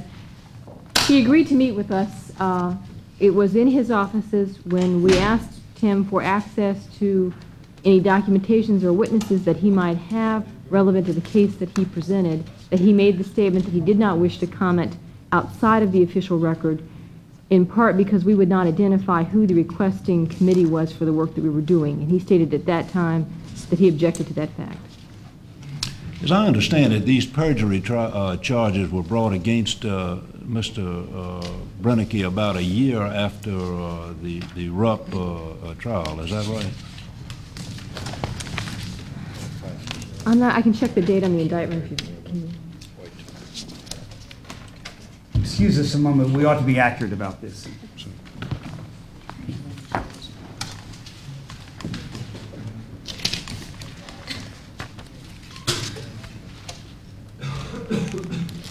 Okay, I believe the statement was made uh, in September of '88, and uh, the copy of the indictment I have, it reads uh, May of '89, I believe, May of '89. Well, a good, a, a- a, good time. Do you, do you know, or did uh, the prosecutor ever indicate to you why that uh, uh, there was this length of time uh, before the uh, actual in- indictment? No, sir, he would not, uh, as I said, he would not discuss outside of that which was in the official trial record. Did uh, he ever indicate to you why, after Mr. Gregg was confirmed as ambassador to South Korea, he offered uh, a deal in which uh, Brenneke uh, would serve no uh, time and pay no fine if he pleaded guilty?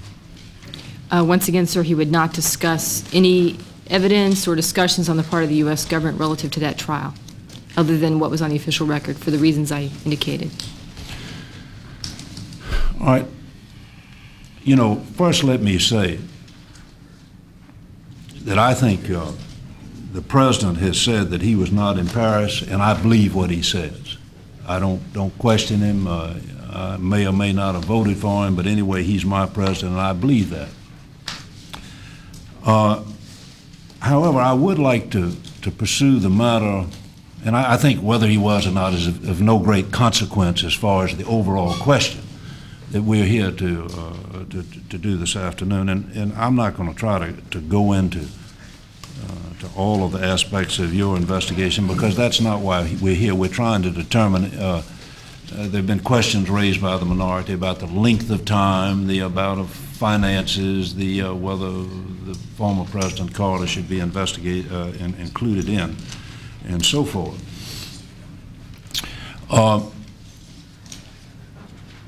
You requested of the Secret Service uh, the, the right to interview each of the uh, agents that was on the detail, the president's detail of that uh, particular weekend in question. Is that right? Uh, Specifically, sir, I I believe we identified four to five individuals, the limousine driver, and so I'm not sure that it encompassed the whole detail. How many uh, people would be on a detail like that? Do you know? I cannot speak to the Secret Service uh, techniques. I understand that was, in in my discussions with them, they indicated that they did not wish to reveal the numbers of agents that they have assigned to a protective detail because of, uh, they consider that to be proprietary information. The numbers that we were working with for potential witnesses were in the range of five to to seven people.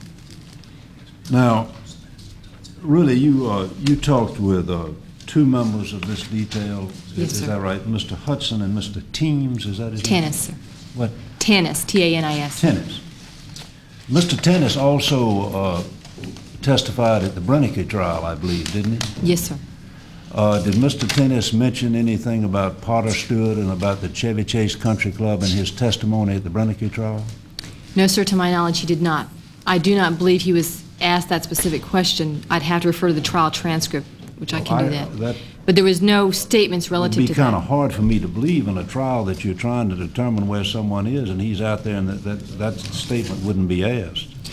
I, I have to look at the trial transcript specifically. I believe at that time, uh, Mr. Tanis or Mr. Hudson had no specific recollection of the, the time period involved. When I did the interview of Mr. Tanis, I had, for my benefit, the use of the Secret Service documents, which I asked him to review and, and describe to me if this was his signature and the dates and all of that. So he had the benefit of that information in front of him when I interviewed him. We had the records, so to speak. But any, in, in any of, uh, in, in, he, this was, he did not testify to this at the Brenneke trial. This was something that he told you later, is that right?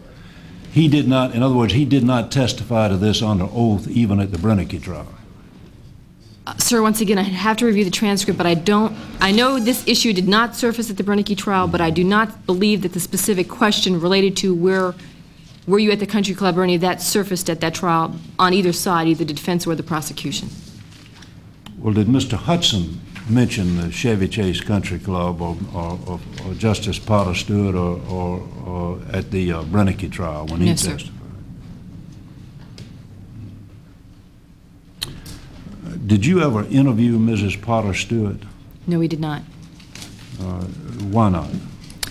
I had discussions in, I believe it was the December timeframe, um, with staff on the subcommittee. I was directed at that point, in my discussions with them, we discussed uh, alternatives as how to pursue a verification of the event.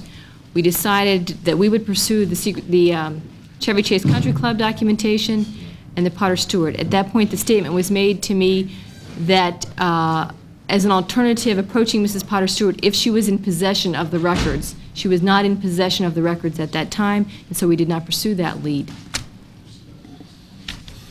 And you don't know why the subcommittee made that determination? Why they made what determination, sir? You not to go forward with that? I believe we mutually discussed it. Um, At that point, I did not know the age or health of Mrs. Potter Stewart. That was discussed. We speculated on the possibility that she may be elderly. And so, once again, that was, that was discussed in light of other investigative leads. And when I left that meeting, and in subsequent conversations with the staff, the agreement was that we would attempt to, to find the records that Mr. Potter Stewart maintained for that period of time. And that is precisely what we did. Did this committee ever investigate the uh, political and military situation in Iran after the Shah fell in the late 1970s? To which committee, sir? Your committee. I can't comment. I don't know. I mean, I mean, your investigation, did it? Oh, did we look at the issues relative, no, Mhm. to the Shah in Iran? Yeah. No, sir. It was not in the scope of our, of our inquiry Uh, request. Did you ever investigate uh, whether arms sales were made to Iran e- at at any time, either in 1980 or throughout the uh, 1980s by this country? No, sir, it was not within the scope of our inquiry. Did you ever investigate whether they were made by Israel No, sir. to. Iran? No, sir. Did you ever investigate as to why, within minutes after President Reagan was uh, uh, inaugurated in 1980, that the plane started taking off from the Iranian airport uh, with the hostages aboard? Did you ever investigate that? No, sir. I repeat, the scope of our inquiry was the Brenneke allegations and the leads from that. I understand. Uh, Did you ever look at any bank transfers of any money uh, between Iran and other people in this country and so No, sir. forth? Mhm.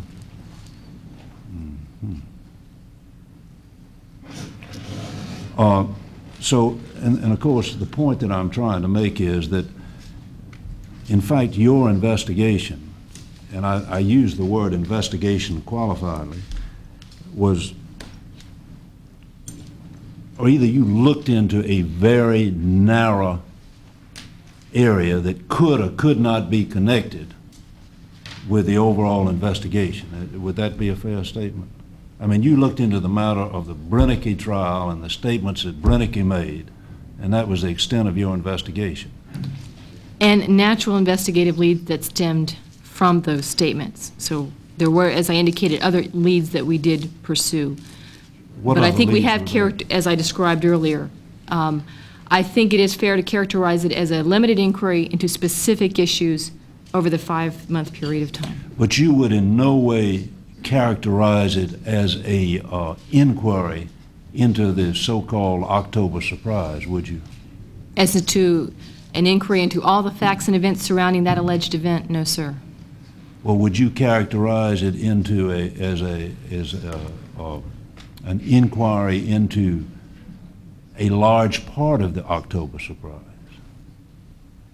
It, it seems to me difficult to, to decide how big the universe outside our inquiry is. I don't think Well, of course, what I'm trying to, I'm sorry, I beg your pardon, I didn't mean to interrupt you. That's quite all right. Please go ahead, Mr. Conlon. No, what I'm trying to establish is that in fact, uh, that, uh, that, that what you did was a minuscule part of some of the allegations that have been made about arms transfers and deals and all that sort of stuff. I mean, you didn't get into any of that, is that correct? All, what you did was to try to establish if uh, someone was telling the truth, who said they had been in Paris and uh, had, uh, and I think it, Mr. Brenneke didn't ever say that he saw the president over there. He just said that Mr. Rupp told him that he saw somebody on the uh, tarmac that he thought was 98% sure that that's probably who it was. That is correct. But Brenneke himself never made the statement that he had seen him or that the president was uh, any part of any meeting, did he? No, sir, he never claimed firsthand knowledge.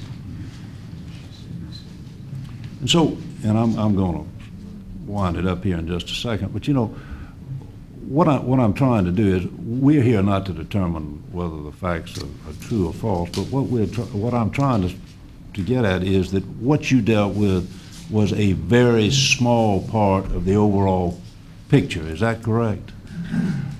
I would, I only hesitate because I don't know how to characterize the division of the universe. We dealt with precisely the issues which we described.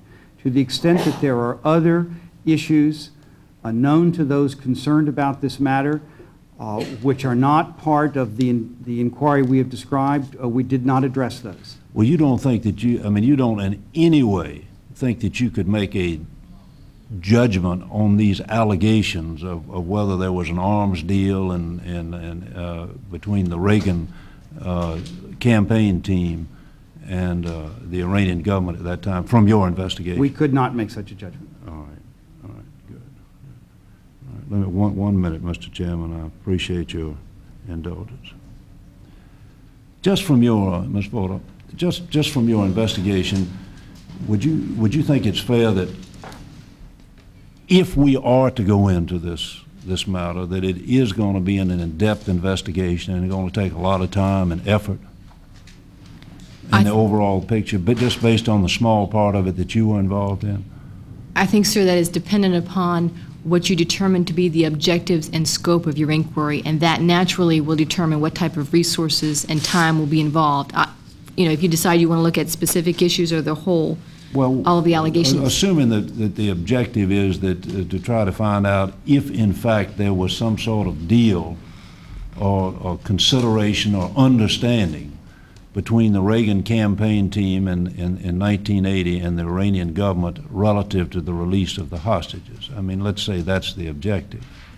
I mean, would you say that it's going to take a, a large effort, or Mr. Hinchman, maybe you would rather answer that yourself? I mean, based on, on, I think that anyone who has looked at this issue would say that that was a substantial and difficult undertaking, particularly in light of the uh, considerable amount of time which has elapsed since those events. Uh, There are people and records which are no longer available, and the task will not be easy. That, however, I should say, does not answer the question, and nor do I mean to suggest answer the question of whether it should be undertaken. I understand that, but would you think if, if, if those are the objection, objectives, that it is going to take a great deal of time? And effort, and money? Thank you, Mr. As I said, I think it is a difficult undertaking, yes. Okay. Once again, I thank you all very much for coming and appearing before us, and you've been most helpful and, and uh, will play a large part, I'm sure, in whatever decision this committee comes to. Thank you so much. Thank you, Mr. Derrick. Mr. Solomon. To enlighten my good, good friend uh, who has a, a last name first and, and vice versa, uh, Mr. Mr. Derrick, my good friend. I think to answer the question, when I met with in a private meeting with you and them the other day, uh, I believe it was Mr. Hinchman that said it was on the magnitude of the Iran-Contra thing. Uh, and God knows how many millions of dollars that was. Uh, as I listened to my good friend Butler Derrick uh, ask these questions, uh, I have to recall that I spent many years on the Foreign Affairs Committee. And I couldn't help but uh, think back to the, uh, to the report that you folks gave us on all the meetings that you had, uh, and a name kept popping up. And that name also was a man who had a last name first and vice versa. His name was Spencer Oliver, you know, not Oliver Spencer, but Spencer Oliver. And any time in the past 10 years when I was on the Foreign Affairs Committee, and we found a movement out there to undermine Reagan Bush American foreign policy, this name popped up out of nowhere, a name that people never see in public, but who's always back there somewhere. And lo and behold, here it comes again. I'm going to uh, yield to my good friend uh, Bob McEwen, who is a member of the uh, uh, of the Intelligence Committee for many years, and who is going to really manage this markup and uh, and this issue, and let him ask the questions. Uh, but I want to thank you people, and particularly Ms. Porter, because you really do impress me. I mean, you you do a tremendous job, and too bad we can't steal you away from GAO and bring you over here where we could really put your talents to use. And uh, Why don't but, you, uh, why don't you, why don't you you want to hire? You want? Why don't you subpoena her?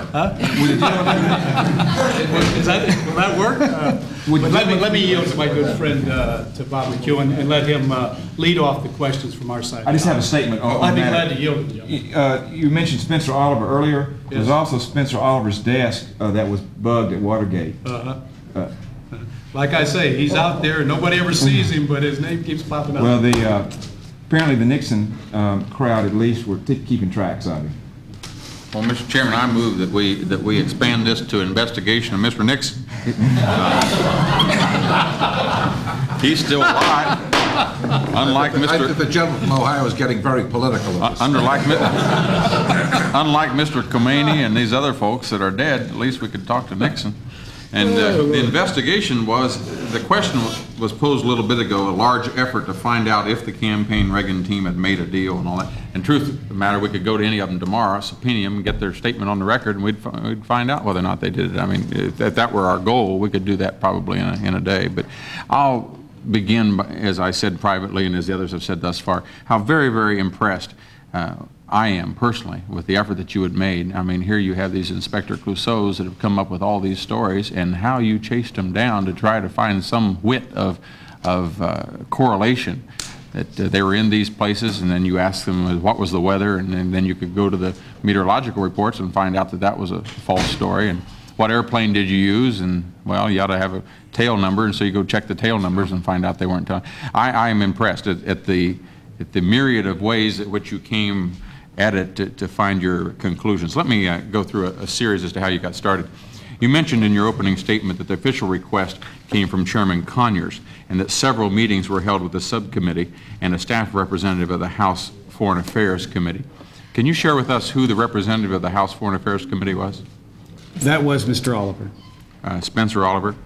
Yes, sir. Uh, And have you received any oral or written requests from the chairman of the Foreign Affairs Committee that he participate, or that the Foreign Affairs Committee participate in the inquiry that you were conducting here? Uh, Not to my knowledge. uh, So do you have any idea how uh, Mr. Oliver's involvement came about? That is not something of which we have uh, any knowledge. Was it the nature of Mr. Oliver's involvement, given the fact that the request for the investigation was coming from the Government Operations Committee, uh, novel to you at all, or raise any questions, or you were just, whoever they invited to participate was up to them, I guess? We uh, perform uh, our work for requesters, uh, and uh, we brief them on the progress of our work, and it's up to them to determine, within reasonable limits, of course, who should be present. And if they, in some cases, decide that staff members, some other committees, or, or personal staff of members should be there. That's not unusual. Did he seek to direct the investigation or make suggestions as to where you you could go in the course of the investigation, or what was his involvement at this point? I think uh, it would be fair to describe him as among the active participants in those meetings. But there were others as well. Uh-huh.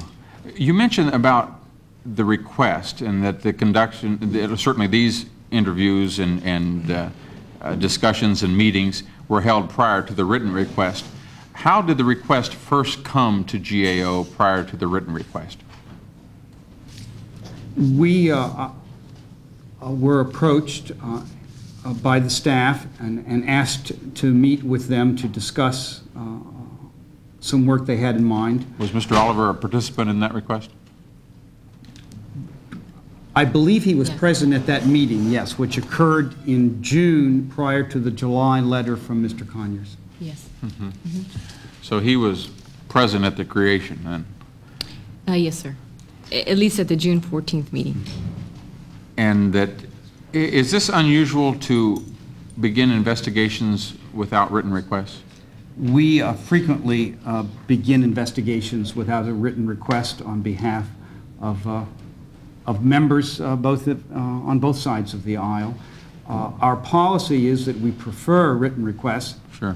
And in fact, in this case, because of the sensitivity of the work, we did think that uh, a written request would be uh, appropriate. Uh, And of course, Mr. Conyers provided it. There came a time when, when you made your report and they eventually decided that, you know, enough already. Let's, let's draw the curtain on this. Uh, Did Mr. Oliver concur in that decision to terminate the investigation? I spoke with um, the requester contact, who at that time um, was Amit uh, Pandey, and Amit Pandey. Uh, After our last formal meeting, which was, I believe, January 10th, and the decision to pursue the Secret Service uh, interviews, and I relayed, after my several discussions with Secret Service, the information back to him, he indicated to me during those conversations that he was in consultation with Mr. Oliver. So based on that representation, I did not personally speak with Mr. Oliver during that time frame, but I am assuming on that basis that he wasn't a, a party to the decision, but I This cannot is out of sequence, but it reminds me of something that was posed. Uh, Justice Potter Stewart is now dead, and his wife is, is ill, and I commend you on being able to check all the myriad of other examples as to whether or not that meeting took place, such as the Secret Service logs, as well as the public statements in the Post, and, and to not, uh, to not bother her for a preliminary investigation of this sort. Um, So we have no way of knowing. Uh, The, the suggestion that enough has been done came then from this... I think we ought, at GAO, to take responsibility for the decision to bring uh, this matter to a close. Obviously, while we do try to shape our work to meet the requirements of our requesters, and they help us define the task, in the final analysis, how we conduct that work and what the result of it is, is something for which we're responsible. And, and I would describe that as our judgment, although I, I do think it's fair to say that there was consensus about that. Has Mr. Oliver been involved since that decision to terminate the investigation?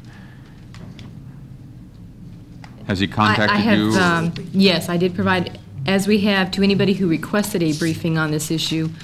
Uh, Let me check the date here, but I, June, was it June 5th? Yes, on June 5th of this year, uh, Mr. Oliver was provided a formal briefing. Is that, is that the, the total of his involvement at this point? After my last contact with the requester, which was uh, a telephonic contact, uh, in the end of February, I had no further contact with any of the parties until, um, I think, there may have been a phone call after there was a Washington Times article, but essentially, yes, I- there was no continued dialogue, the request for a briefing. Thank you. So after these, at these meetings, after these government operations meetings, and then we have uh, Mr. Oliver from Foreign Affairs, uh, I understand that there was also a cadre of, of journalists that were invited as well. Did you maintain a list as to who they were? In the June timeframe, I- June, no, excuse me, I was not the uh, case agent at this time. In the July timeframe, the subcommittee staff uh, represented to OSI that there were three individuals with information on the issue at hand. And so, yes, I did maintain that information. But, but I wish to be clear that that meeting was not one for the purpose of, of GAO or OSI providing information to those journalists. Uh, It was an opportunity for us to obtain information from them and to make whatever use of it uh, proved appropriate in the course of the investigation. I understand. Do you mind telling us who they were? Uh, Are you in a position to do that? Yes, I believe so. Um, They were um, Mar- Martin Kilian from Der Spiegel, Gary Sick, um, and Bob Parry, I believe. Okay. Getting back to the investigation, other than the written request by Mr. Conyers, did you ever have an occasion to brief him on the progress of the investigation? Uh, We did not, but I should be clear that in the course of our work, we seldom deal directly with members. We almost always deal with staff, and that we leave it to the Really? staff to decide when the member uh, should uh, be involved. Often that does not occur until the work is concluded and, for example, a hearing takes place. Did he ever ask for a written report? Uh, I do not believe so, no. Uh, So we don't know whose decision it was to not issue a final written report? Uh, It was our decision not to issue Due to the final fact that he hadn't requested one? Fine. No, I, I think it was our decision that was the appropriate way to terminate the work under the circumstances. Good. Uh, Yeah, You're done fine. Um, We've been told that uh, to to do an October surprise investigation would would cost something on the scale of Iran-Contra, which uh, cost millions of dollars. Uh, Is that an accurate assessment of the scale you think this should, would take in order to chase down? I mean, actually, there is no, he could come up, these guys could come up with ideas like sparks off a flywheel. You really couldn't chase all of them down short of the U.S. Treasury. Um, Let me ask this. If you're putting together a story and you're trying to, trying to shape it out, there ought to be something in there that, that clicks. In all of these allegations, what actually was true that you can confirm from your investigation? When you say all of these allegations, do you mean the Well, the, the fact that he stopped in all these places and who was flying the plane and they saw George Bush and it was in Madrid and then it was in Paris and all, of all of these things that they've all said, and you've chased them all down, uh, by accident, by sheer chance of, of error, one of them might have turned up to be true. Uh, did you ever find one? Was he ever in any of these places? Was there a passport stamp? Did he ever go to the hotel? Did he ever? Mr. Brenneke, you mean? Yeah, and either he or Rupp, either one. Uh, The information provided to us did not indicate that uh, Mr. Brenneke was present at those. However, there was very limited documentation provided to us relevant to that issue. In fact, at one point, he said, when you got him down at the hotel and you said, well, you would have had, there would be a claim check or something, he said, well, I recognized the girl behind the counter and so I didn't check in or something. Uh, When we asked uh, Mr. Brenneke for, we were going to check, pursue the issue of the hotel registration, he made in his statements to me that he and Martin Kilian had traveled to Europe, uh, had attempted to check the records at the hotel during that period in question, that it was a hit-or-miss proposition during those timeframes for availability of those records, and they were not available, and further, that he knew the individual behind the desk when he checked in. uh, It was a woman whose name he could not remember. For that reason, he did not register. Forgive me. Um, I've asked this question three times, and I don't want to lead you at all, but basically, I'm just, at any time in any of these investigations, did anything they ever say turn out to be true? Isn't it more accurate, I think, to summarize the results of our work to say that we did not find any evidence to corroborate Mr. Brenneke's allegations? So, so unless you were the United States government and the Congress of the United States, chances are you'd think that this was probably a pretty dry hole, I guess. Okay, that's an observation on my part. We were also told that the uh, further investigation to be thorough, it would be important to know about the contemporaneous efforts by the Carter administration to secure the release of the hostages, as the Senate has done. Uh, Is it correct in your judgment that this would, would be logical to include in the course of this investigation? I think that that's a judgment which those who are responsible for uh, reaching the decision before you need to make. Well said, Counselor. Thank you all very, very much. Thank you. The Honorable Alan Reed. Mr. Chairman, just a couple of brief questions. Um, Once again, let me thank you for your uh, professionalism and your patience in going through this process. And of course, we are not the committee judged with the ultimate responsibility of exploring the entire fact situation and making any kind of determination as to what happened or what didn't happen.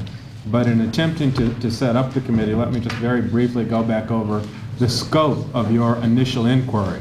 As I understand it, it was limited to two very narrow subject areas, uh, the truth of the Brenneke uh, allegations in regard to a trip to Europe being one, and the possibility that uh, then candidate, now President Bush, uh, would have been on that trip, and, and so you expanded your investigation to cover the president's whereabouts the weekend of October the 19th. That that is a a good summary of our... And that's, that's the scope, of the, the- basically the entire scope of your inquiry. Uh, In, in terms of trying to make a determination as to the kinds of resources, time, and effort that would be necessary for a much expanded uh, inquiry if we, if we choose to undertake one, can, can you go back over how long your inquiry into these two narrow areas took? The request uh, was received in July of 90. The specific, actual, the legwork was basically done from September until January with follow-up phone calls into February. So that was the timeframe uh, of the effort. And I believe uh, we calculated, what, 85? I believe that we calculated 85 staff days to do that work. Approximately 80, st- 85 staff days spread over a six to seven month time period. That's correct. So it would be fair to assume that if the in- inquiry were expanded exponentially, that the, the, the time uh, and the uh, money necessary for the in- investigation would also expand. Uh, That, I would assume so, yes, sir. There are some suggestions that ultimately there can never be any conclusions that come from this kind of investigation, but you, and I take it the, uh, the requesters, uh, the Government Operations Committee who originally asked you to undertake this inquiry, uh, did essentially come to the conclusion that, that uh, you could find no evidence to corroborate the fact that the President was in Paris or in Madrid at the time the, uh, at the time the, at, at the time the uh, allegation suggests he was there. I- I don't mean to quibble. I, as I said, we had a preliminary inquiry, and our conclusion is that we found no evidence. For- For, for those of us who are not attorneys or investigators, uh, we would basically assume that you found that the president wasn't in Paris that weekend of October the 19th. And, and that that would be a conclusion that could be drawn from your The- efforts. The affirmative evidence uh, which we found, of course, does show uh, then Vice Presidential candidate Bush uh, in Washington DC on that weekend. That's correct. And to the, to the degree that that would be a portion of the investigation, or if in fact that were the essence of the entire investigation, that would have indicated uh, that there would have been some purpose uh, to, uh, to, to the uh, inquiry that you have undertaken. There's no question about that. Yes, sir. Thank you very much. I appreciate all the time that you've, you've put into this. Ms. Slaughter? Mr. Quillen, I'm sorry. I passed her several times. No, well, actually, the reason we bypassed the first time, Mr. Quillen, is because Mr. Solomon yielded to Mr. McHugh. I'm still here. Thank you both for being here. I think you- it's a remarkable memory you have, uh, Ms. Porter. I congratulate you. I'm wondering now that, uh, Mr. Hinchman, you work for the committee as chief counsel. Uh, No, sir. I am the general counsel of GAO. And you, uh, do you uh, work for the majority or minority? Uh, I work for the General Accounting Office. Uh, I am not directly accountable to the committee on either the majority or the minority side. Instead, I report to Mr. Bowsher, uh, who, for whom the Government Operations Committee provides oversight.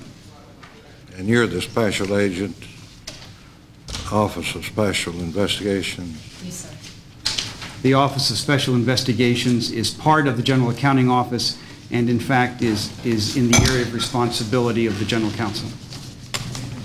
And in your investigation, I know that you had a mandate and probably a completion date.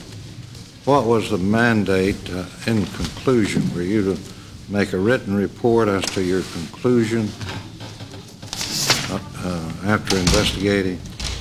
We had agreed that uh, in, in this case, uh, we would discuss the appropriate way to conclude the investigation once the work had been done. Uh, At that point, we felt that, given its preliminary uh, character, a written report would not be appropriate. The committee uh, concurred in that decision. Well, what was the purpose of your investigation? The purpose was to Was see... it, was it political? Uh, No, sir. It was to see whether uh, there was evidence uh, which could corroborate uh, the allegations which Mr. Brenneke had made regarding this October meeting in Paris uh, with the Iranian government. Requested by the chairman? Yes, sir.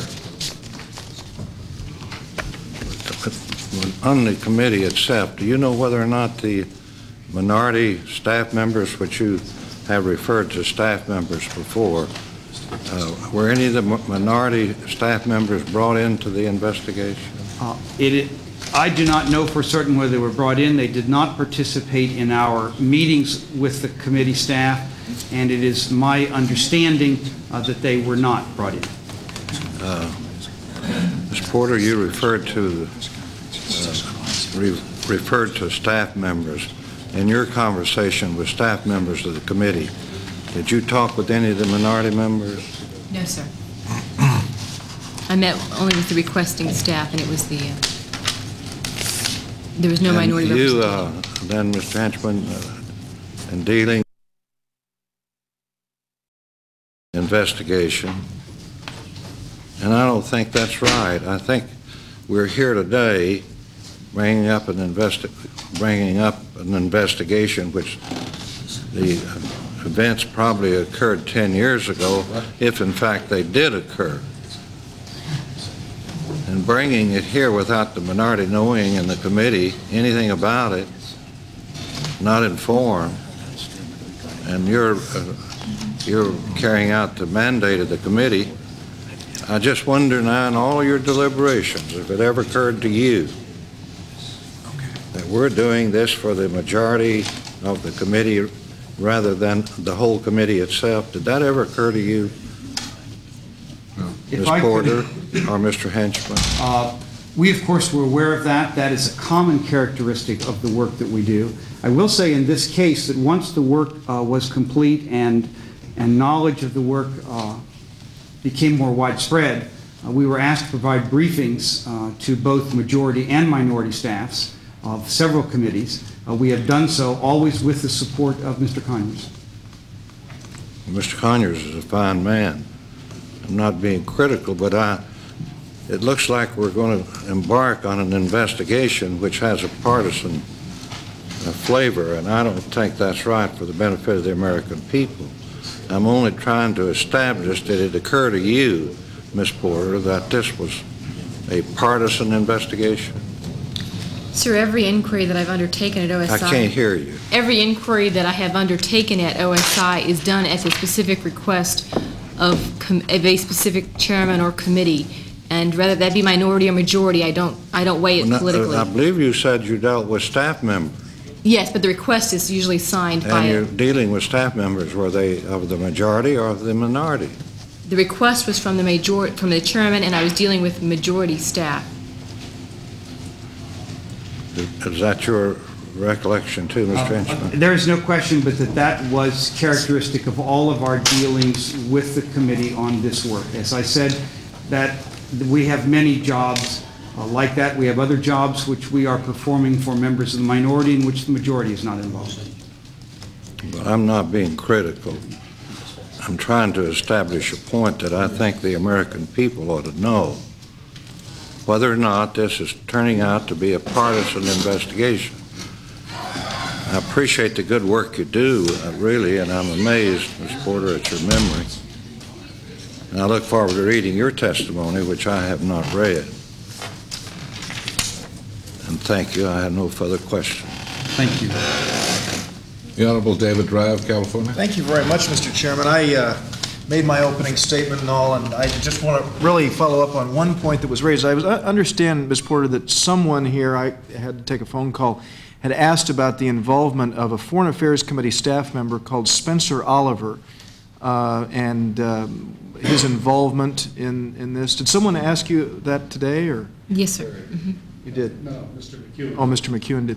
I just, I- and I understand that you had provided an answer. What I wanted to ask was whether or not there were other members of the panel uh, here today who are aware of any kind of involvement that Mr. Oliver might have uh, had at all on the October surprise issue following the time that you said you had last had contact with him.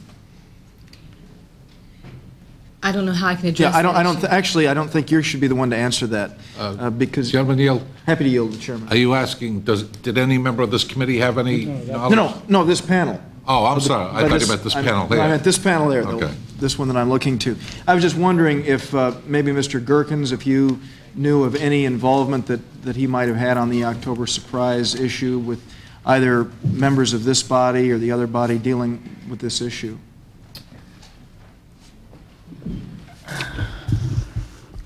I believe he did uh, attend a meeting that uh, we, um, where we pre- presented basically this briefing to uh, Senator Sanford's uh, staff, and Mr. Spencer Oliver was in attendance at that meeting as well.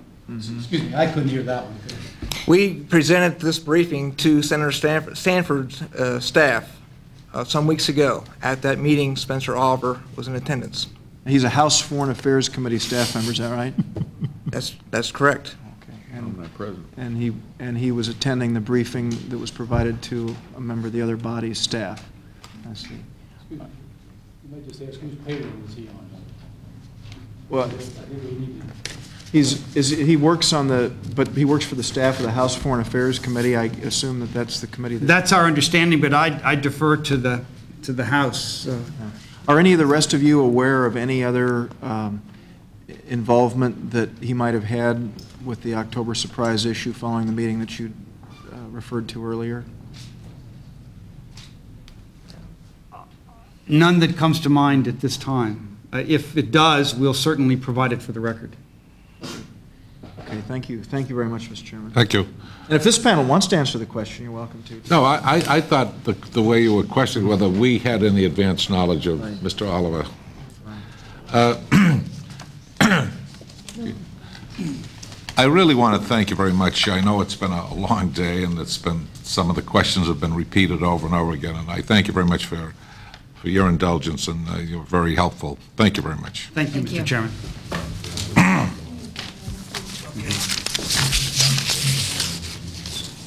Barbara, we need uh, the request letter.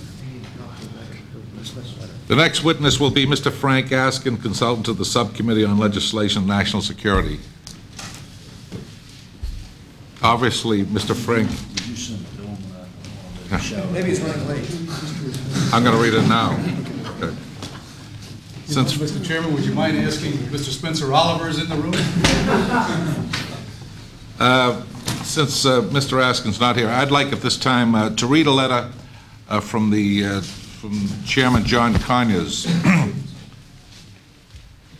Dear Mr. Chairman, thank you for your letter requesting that the Committee on Government Operations provide information relative to HRES 258 to provide funding for a task force to investigate allegations that members of the Reagan-Bush presidential campaign team were involved in negotiations with representatives of the Iranian government to delay the release of American hostages until after the presidential election of 1980. I believe that the limited information in the possession of the committee at this point argues in favor of the resolution.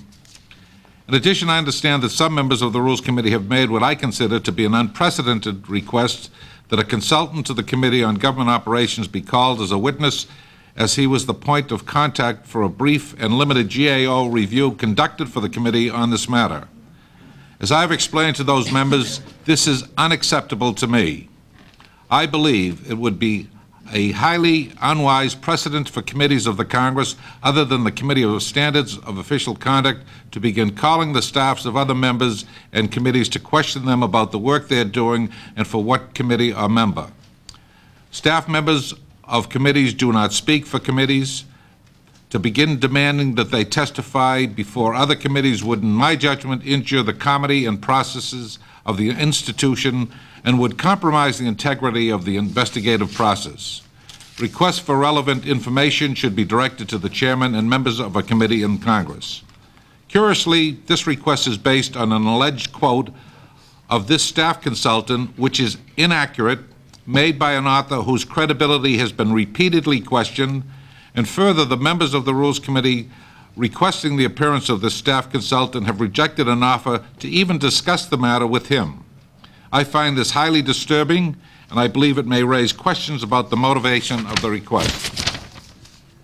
As you know, in July of 1990, the Committee on Government Operations Subcommittee on National Security asked the General Accounting Office to conduct preliminary review, limited both in time and scope, related to the above-mentioned allegation.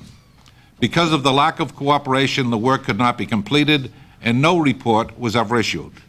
The review followed the acquittal of Mr. Richard Brenneke of perjury charges in April of 1990 by a Portland, Oregon jury. Mr. Brenneke was charged with perjury, with perjury for having claimed that he had attended a meeting in Paris in the latter part of October 1980 between representatives of the Reagan-Bush campaign and Iranian government representatives. The core of the perjury charges were his sworn allegations that the meeting occurred and was attended by Mr. Donald Gregg, Mr. William Casey, and other representatives of, Mr. of the Reagan-Bush campaign team. The government's inability to disprove Mr. Brenneke's rather astounding allegations by members of the 1980 Reagan-Bush campaign appeared to raise important questions. It is, unclear, it is unclear why the Department of Justice did not produce evidence to convince the jury the claims were untrue. Following the trial, the jury foreman publicly indicated that he actually believed the allegations. The limited nature of the GAO review was largely to ascertain the information about what would appear to be easily obtainable records in order to refute, as I indicated in my letter to GAO, the allegations which gained some credence after the trial. Because the United States Attorney did not cooperate, cooperate with the review, nor would the Secret Service produce for interviews the staff members of the Secret Service detail for a relevant time period, the GAO work was never completed and no report was ever issued. Further, the review was concluded prior to the publication in the New York Times of April of 1991 of an op-ed article by former Carter aide Gary Sick, which has since generated numerous calls for a formal congressional investigation. The characterization that this review constituted a, a dis disposition is highly misleading. The bulk of the alleged evidence that such negotiations involving the Reagan-Bush campaign team with the Iranians to, to delay the hostage review was never reviewed by the GAO.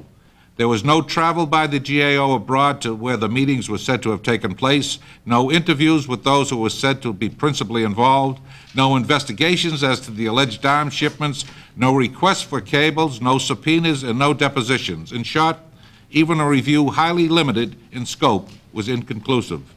Finally, I've been made aware that there was concern that this review was confidential. The purpose for maintaining confidentiality was to avoid fueling additional speculation and give credence to the allegations in the absence of further substantiation. Members of the minority are fully entitled to the same such procedures of confidentiality should they choose to exercise them. I hope this information is useful to you as you and the committee consider HRES 258. Sincerely, John Conyers, Jr., Chairman. Ask unanimous consent to be placed on the record. Mr. uh, Chairman? Mr. Solomon. In regard to that uh, correspondence from uh, Chairman Conyers, who I will repeat I have the greatest respect for, and uh, uh, I can understand his, uh, his protecting his committee's rights. As a member of this committee, I have for a number of years defended the rights of individual authorizing committees. We've been blocking, as a matter of fact, a defense authorization bill from going to the floor uh, that usurps the, the authority of the Foreign Affairs Committee by giving a billion dollars in foreign aid you know, under the, under the uh, defense budget uh, to the Soviet, uh, former Soviet Union. But uh, Mr. Conyers, in his meeting with us, knows that his committee had subpoenaed and had um, obtained the the testimony from a member of the Post Office and uh, a staff member of the Post Office and Civil Services Committee.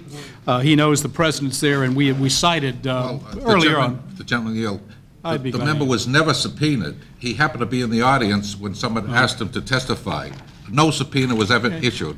And and He just happened to be in the audience and someone said, "Do you know anything about this? Would you please, do you mind testifying?" And the fellow says, "No," and he came up to the table. Well, it would have been very nice, Mr. Chairman, if, uh, if uh, Mr. Askin could have been in the audience and we could have invited him up and let him enlighten us, uh, for the record. Uh, But uh, nevertheless, uh, I have also would like to make a unanimous request to uh, submit various material, which consists of uh, correspondence back and forth between you and I, between our our Republican leader, Mr. Michel, and the Speaker, uh, and uh, including Mr. Horton's response to that letter from uh, his counterpart, Mr. Conyers, uh, that you just read a few minutes ago, in which Mr. Horton had no objection to, to that contract consultant coming before this committee and giving us the benefit of his uh, knowledge on this issue. And, Without uh, objection, the uh, gentleman may So I would submit submit all of this information uh, for, for the record. Without- Mr. Derrick.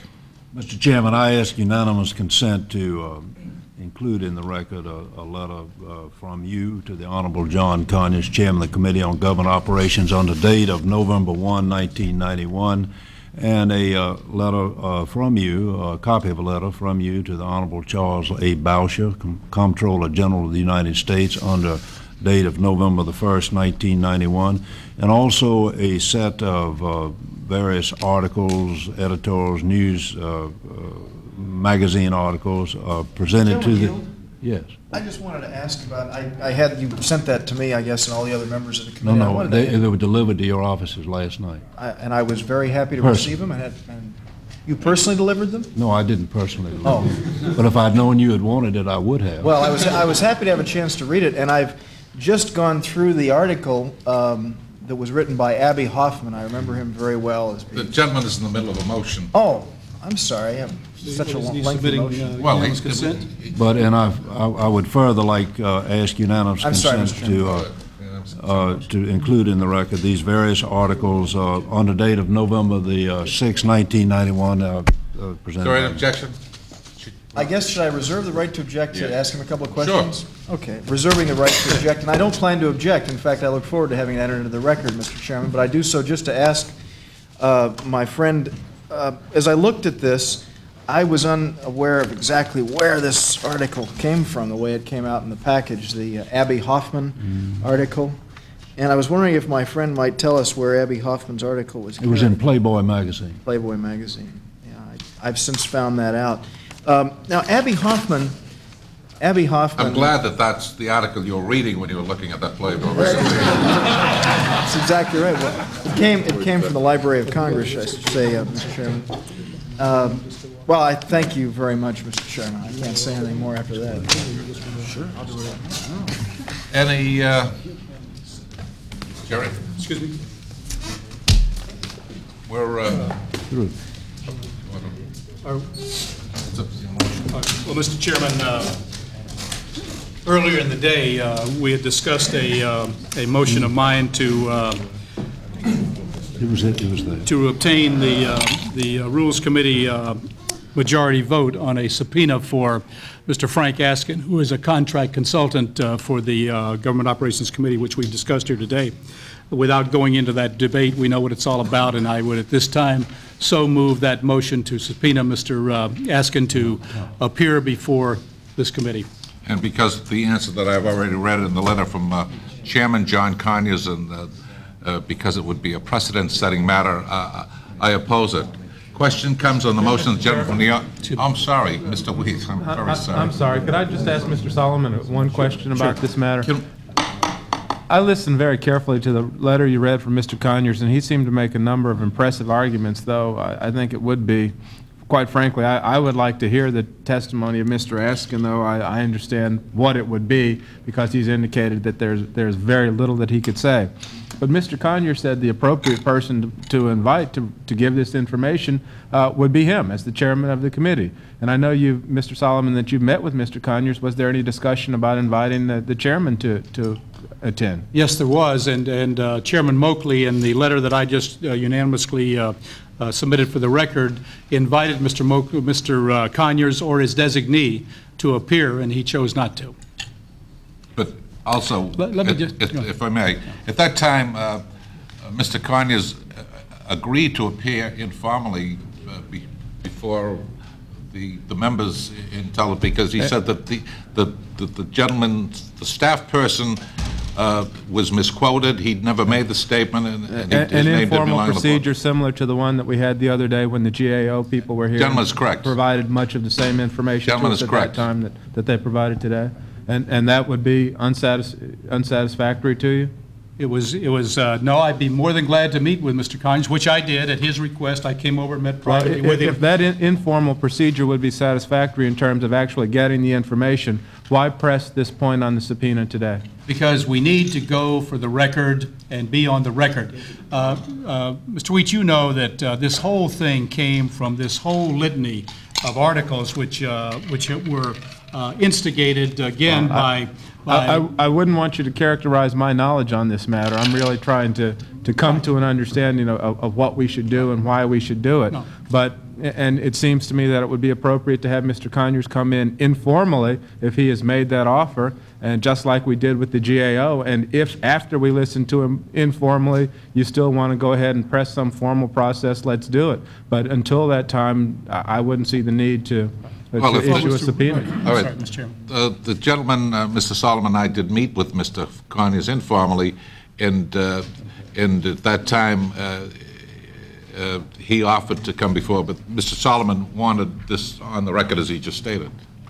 And, and if I might just say so, Alan, you know, uh, in my 13 years in this Congress, I have never, never asked to have anyone subpoenaed for any reason. You know, I really think that's an infringement, and sometimes we in the Congress, uh, we overact with, with the authority vested in us, and I, I am very much concerned about that.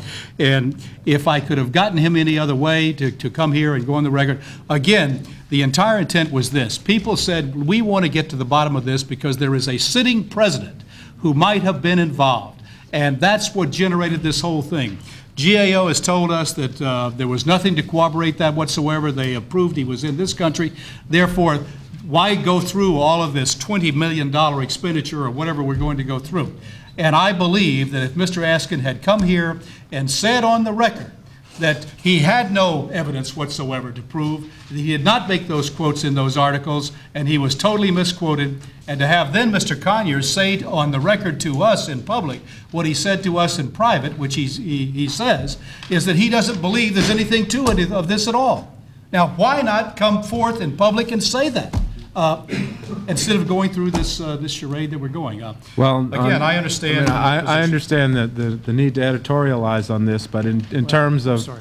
In, in terms of getting the information, if Mr. Conyers indicates that he's willing to come to us informally and discuss it with the, with the entire committee, I think the rest of us would like to have the same opportunity that, that you would have, and short of that, and, and until that opportunity, that request has been made, uh, I, I could not in all Gentlemen, good yield. conscience If you want to vote withhold the markup on this, uh, on this bill tonight, uh, we, we could certainly do that. Withhold the subpoena, Yeah, certainly. Mr. Conyers yes, said that the GAO report was inconclusive, as was testified here. He said he learned nothing, uh, Mr. Askin learned nothing, and there's nothing to talk about. That that was his conversation. Question comes in the motion, the gentleman from New York, Mr. Solomon.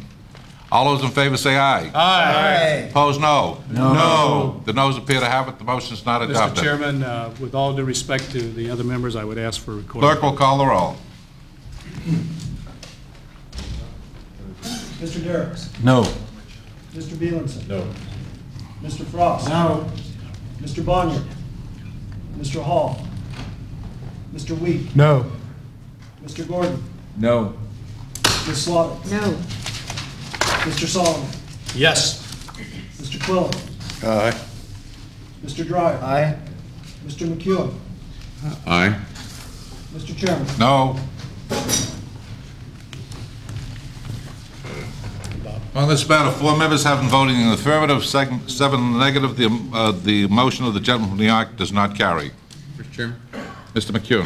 Mr. Chairman, from the testimony and my questions, it seems that, that Mr. Oliver was a guiding light in the investigation. And uh, before we proceed any further, it might be good if we could receive the benefits of his uh, observations as well. And I would suggest that he be called, since Mr. Askin is an outside consultant. Mr. Spencer Oliver has proven to be uh, omnipresent and during the discussions, whether it be in members' offices or whether it be at, at uh, Government Operations Committee meetings or whether it be uh, even in the Senate. And so I'm sure he would have not any reluctance to appear before the Rules Committee uh, if we were to request, and I do so. Gentlemen yield? Be pleased to yield.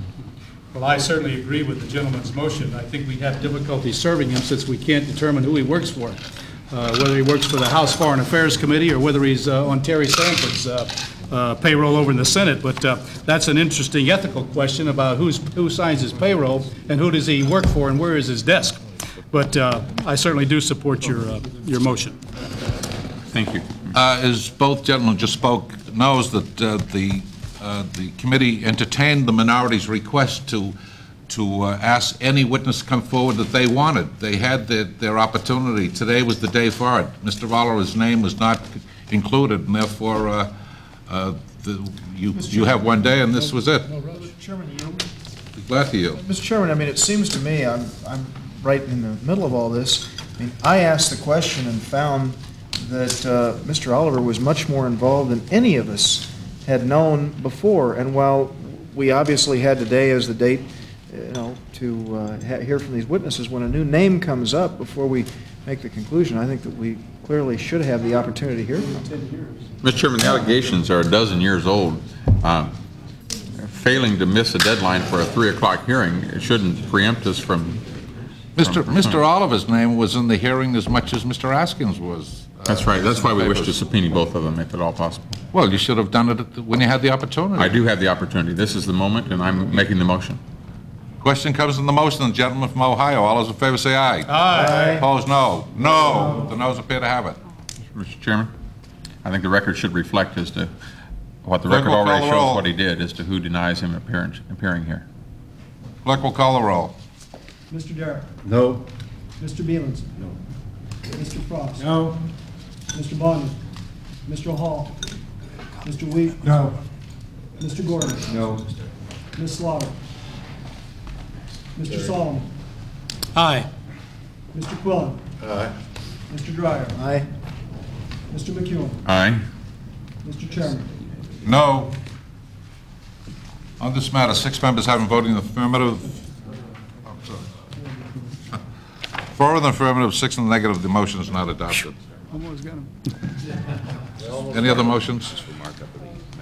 Mr. Okay. Mr. Chairman. uh, Mr. Solomon. We do not have um, uh, any further subpoena motions. Uh, The gentleman from Ohio, Mr. McEwen, who is going to to manage this legislation, does have several amendments uh, uh, that deal with uh, our Republican leader, Bob Michel's, uh, offering to the Speaker of the House to uh, make this a bipartisan joint effort that we could all participate in. And uh, I would yield to him to uh, uh, offer those amendments at this time, if, if, if we are in the amendment markup process. Uh, If I may, at this time, we've all heard the testimony. We're now prepared to enter the markup stage of the hearing on Resolution H-Res 258. Uh, Has been before the committee for some time, and I'm sure we're all familiar with its contents. I realize there may be several amendments offered. I believe Mr. Derrick wishes to offer an amendment in the nature of a substitute, and I'll recognize Mr. Derrick first. Other amendments may be offered while the Derrick substitute is pending. So you can offer your amendments to Derrick's. Recognize him and then you... Yeah. Right. Yeah. Otherwise... Yeah, this is his resolution. Yeah. Right. Chair will be in the receipt of a motion. Mr. Chairman, I do have a substitute that I wish to offer. The substitute further narrows the scope of the investigation by making two changes. from HRES 258. First, the substitute drops subsection F, which would have included all matters directly or indirectly relating to the question. The substitute also changes the phrase to affect the timing of the release to delay the, to, to delay the release. Let me go over that again. To affect the timing of the release, and it changes it to, to delay the release. Too many twos in there. That's all. You've heard the motion, gentlemen from South Carolina. There are amendments? Mr. Chairman, I have a substitute. Gentleman, I- I'm the Is this correct, Tom? Uh, It's uh, the Michel substitute, which I think has been passed out. It's House Resolution Number 255. It it includes the Carter campaign and administration under the scope of the inquiry, as uh, was done in the Senate. It places a six-month deadline on the final report, subject to extension by the House if it chooses to do so. It deletes proxy voting, and it uh, would bring task force under the applicable House rules, procedures, and protections. Uh, Mr. Derrick? Thank you. I would uh, not support uh, that motion for two reasons, basic reasons, uh, more, but uh, two basic reasons. One is that no one has suggested any impropriety on behalf of the Carter administration. Mr. Carter was President of the Of the United United States States of when this, when this took place. That's right. And he was exercising his constitutional authority. No one has suggested that Mr. Carter uh, did any, uh, con- conducted any impropriety. The, the second is, is is the matter of timing. And I think if, if we all listen to the testimony here this afternoon, uh, if there's one thing that came out of it loud and clear is that we don't need any time limit on this, that we need to get to the matter, the, the truth of the matter. If we can get to it in two months, three months, four months, a year, or whatever it takes to get to the truth of the matter. That is the objective, to get to the truth of the matter, uh, not to put some um, uh, unreal or unrealistic uh, uh, time restraints. Mr. Chairman? Uh, Mr. McEwen? Mr. Chairman, I'm not sure uh, of the relevancy of the suggestion that no one has suggested that Mr. Carter has done something or not done something. Uh, I have found no official uh, claims that, uh, that Mr. Reagan did it either. I mean, we have these, we have these people who claim to work for the CIA, but that's easily checked, and of course, they never did. So we, we have these preposterous allegations out here. Uh, One that we do have is a former Carter employee of the National Security Council says that he did engage in arms for hostages. In fact, he not only plays a part, he says the part that he did, the actual names and figures, and put it in his book. Now, we have heard significant pontification in recent years as to the evil to the republic and the demise of the Constitution that is threatened by arms for hostages. And for now, someone to say that uh, he was the President of the United States during the engagement of arms to hostages uh, is certainly a very small fig leaf in my mind. But the whole purpose of the inquiry says this. If we were to believe these folks, what they claim is that Mr., uh, someone in the Reagan campaign offered $40 million to have them keep the hostages locked up until January of 81. Mr. Carter's national security advisor, who writes his book, is coming out next month and is doing the circuit at the moment, he claims that Mr. Carter offered 150 million. Now, unless one is completely blinded to the inquiry at all and completely prejudiced to the facts, they would have to conclude that if someone had offered 150 million for the hostages and someone else had offered 40 million to the hostages, that if there is any truth at all, you should look at both, because one has a direct bearing upon the other. And to say that we don't want to look at one because during that moment he was President of the United States shows a prejudice that I think marks the purpose of our meeting here. And we will see if the goal is to get to the facts and find out if the, what the real truth is and what the real uh, story is, or is this a political witch hunt? The vote on whether or not Mr. Carter's arms for hostages request is investigated in the course of this investigation will, will tell the story as to where we go from here. Uh, Mr. Chairman. Mr. Dodd.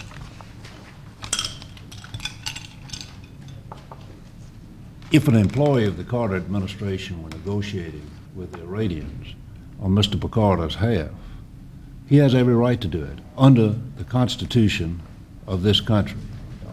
The whole purpose of this hearing are allegations that have been made that a campaign, not a duly elected official, as Mr. Carter was at the time, have tried to circumvent an election, have tried to circumvent an election and circumvent the whole, the total electoral process.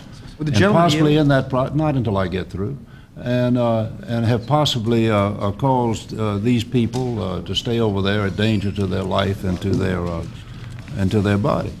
Uh, That is what this is about. It's not about uh, a a president exercising his lawful duties.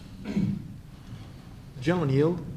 I'd be glad to yield. I, I just wanted to say, as I looked at the Michel substitute as it's been offered here uh, by Mr. McEwen, the first word here is Carter campaign. It says and administration on here, but it says Carter campaign. And while we know that uh, Jimmy Carter was President of the United States at that point, maybe there was some relationship between his campaign and these allegations which have been made. And we want to get all of the facts. Those are not the allegations that have been made. Um, Mr. Chairman? The executive order that bound all government officials, prevented them from engaging in this sort of activity. They have now boldly and with impunity and uh, claimed that they did so. Uh, The purpose of this investigation is to see whether or not someone in the Reagan campaign engaged in a bidding process with those people. And to say that you're going to look at one side and not the other is very, very transparent as to what the purpose of this so-called investigation is. If you're interested in getting at the facts, then you're going to look at both people at the table and who was bidding for whom. And to say you're not going to look at one and you're only going to search the empty nest on the other side is demeaning to the Congress of the United States and the American people that have to You've heard the motion, gentleman from Ohio. Question comes on the motion. All those in favor say aye. Aye. Aye. Opposed, no. No. Noes appear to have it. Absolutely, Mr. Chairman, I need a recorded vote. Clerk will call the roll. Mr. Derrick? No? Mr. Belitz? No. Mr. Frost? No. Mr. Bonior? Mr. Hall? Mr. Wheat? No? Mr. Gordon? No. Ms. Slaughter? Mr. Solomon? Yes. Mr. Quillen? Aye. Mr. Dry? Aye. Mr. McEwen? Aye. Mr. Chairman? No. On this motion, four members having voted in the affirmative, six in the negative, the motion is not adopted. Uh, Mr. Chairman, Mr. Solomon. I was um, not going to offer any, any motions or amendments, uh, leaving that up to the, to the bill manager on our side of the aisle, but uh, as I listened to the, uh, to the articulate arguments uh, that uh, my good friend, Mr. Derrick, uh, has uh, given us, I'm just wondering then, and based on your statements earlier, Mr. Chairman, where you said that no decision had been made on, on just how we would write this, this bill, that, mark it up, why don't we do this? And I would make this as a motion. Why don't we offer the Michel substitute, but exclude the Carter Campaign Administration under scope of inquiry? Let's exclude it. Now, what does that leave us? That leaves us the things that we were talking about uh, that have been unfair and that uh, your side of the aisle has refused to even negotiate with, uh, with our Republican leader, Bob Michel. So we would exclude the Carter Campaign and Administration under the scope of the inquiry, but we would place a six-month deadline on the final report, subject to extension by the House, which means if there is need to continue, if there's need to spend more money after we spend all this money during the six months, we can continue. We would delete proxy voting, something we don't have even in this committee. And why should we have proxy voting? We would eliminate one-member or staff depositions, two-member quorums to close meetings. Only have to have two members present to close a meeting? So we're going to eliminate that. And uh, otherwise, bring task force, uh, bring this task force under applicable House rules and procedures and protections. Now, what's more fair than that? So let's be fair. I offer this motion. We exclude the Carter campaign and administration as, as uh, you wanted to do, and I would move that motion. Mr. Chairman, Mr. Derrick. object of this investigation, if it goes forward, is to get at the truth of the matter. I think if this testimony here before us this afternoon proved one thing, it proved one thing without question, and that is that there's going to have to be a good little bit of time involved to get to the truth of the matter. My observation of the Iran-Contra hearings was that one of the reasons there were not really conclusions reached on that was that there was an artificial time limit put before they started. And you know, there are all sorts of dilatory tactics that can be used to take that artificial time limit and work to the advantage of those who do not wish possibly to get to the, uh, uh, to, to conclude the matter and, and wanted to, these questions to go uh, unanswered. Uh, so I think it would be very ill-advised to put uh, a time limit on it. Anytime that the House wishes to cease the investigation, they can do so by a majority vote. Uh, as to proxy voting, uh, why not have proxy voting? Most committees do. This committee doesn't, but that's an un, uh, uh, unusual situation.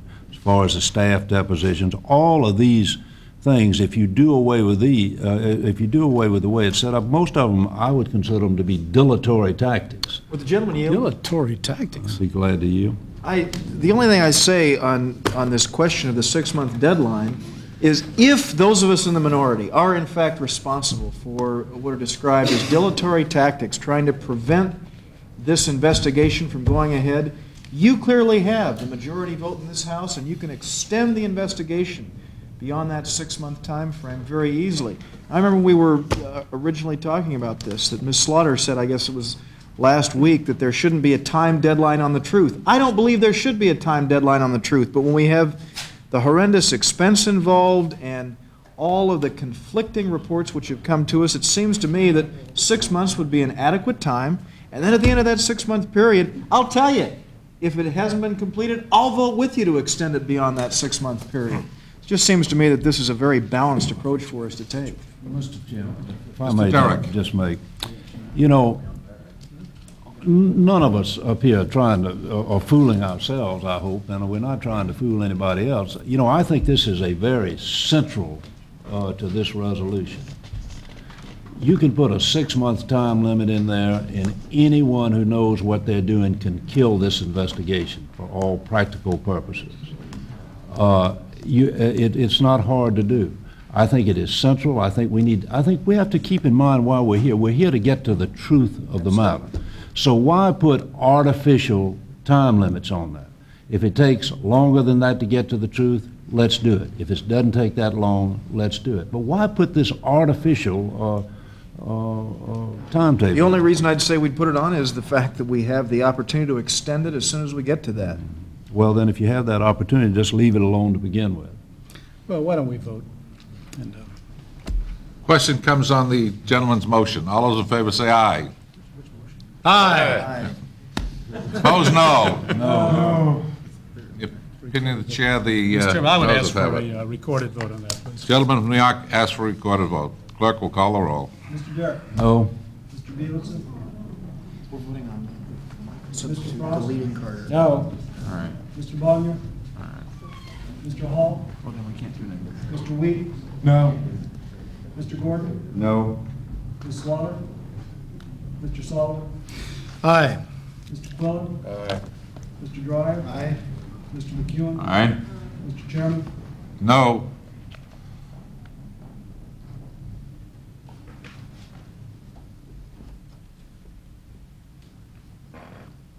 On this matter, four members have voted in the affirmative, five in the negative. The motion is not adopted.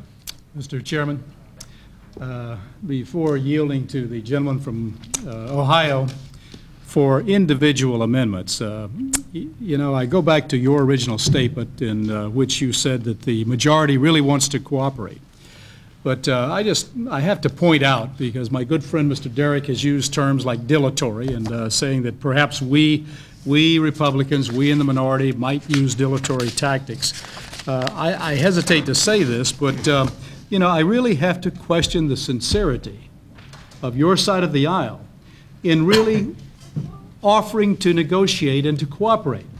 Now, you've already turned down a substitute which included Jimmy Carter. Now you've turned one down that excluded him, but had all of these other, uh, the, the total operations that we operate here in this committee and in the House of Representatives. And now we're going to offer several amendments individually, and I suspect that you're Mr. going to turn them all down. Yes, I'd be glad to yield If, friend. if in fact we confirmed your suspicion that we were going to vote them all down, would you still feel uh, compelled to offer them? Yes, because I really think everybody ought to see it, or they ought to know it. We ought to go on the record, as I've been trying to get Mr. Askin up here to go on the record. But, uh, you know, your point's well taken.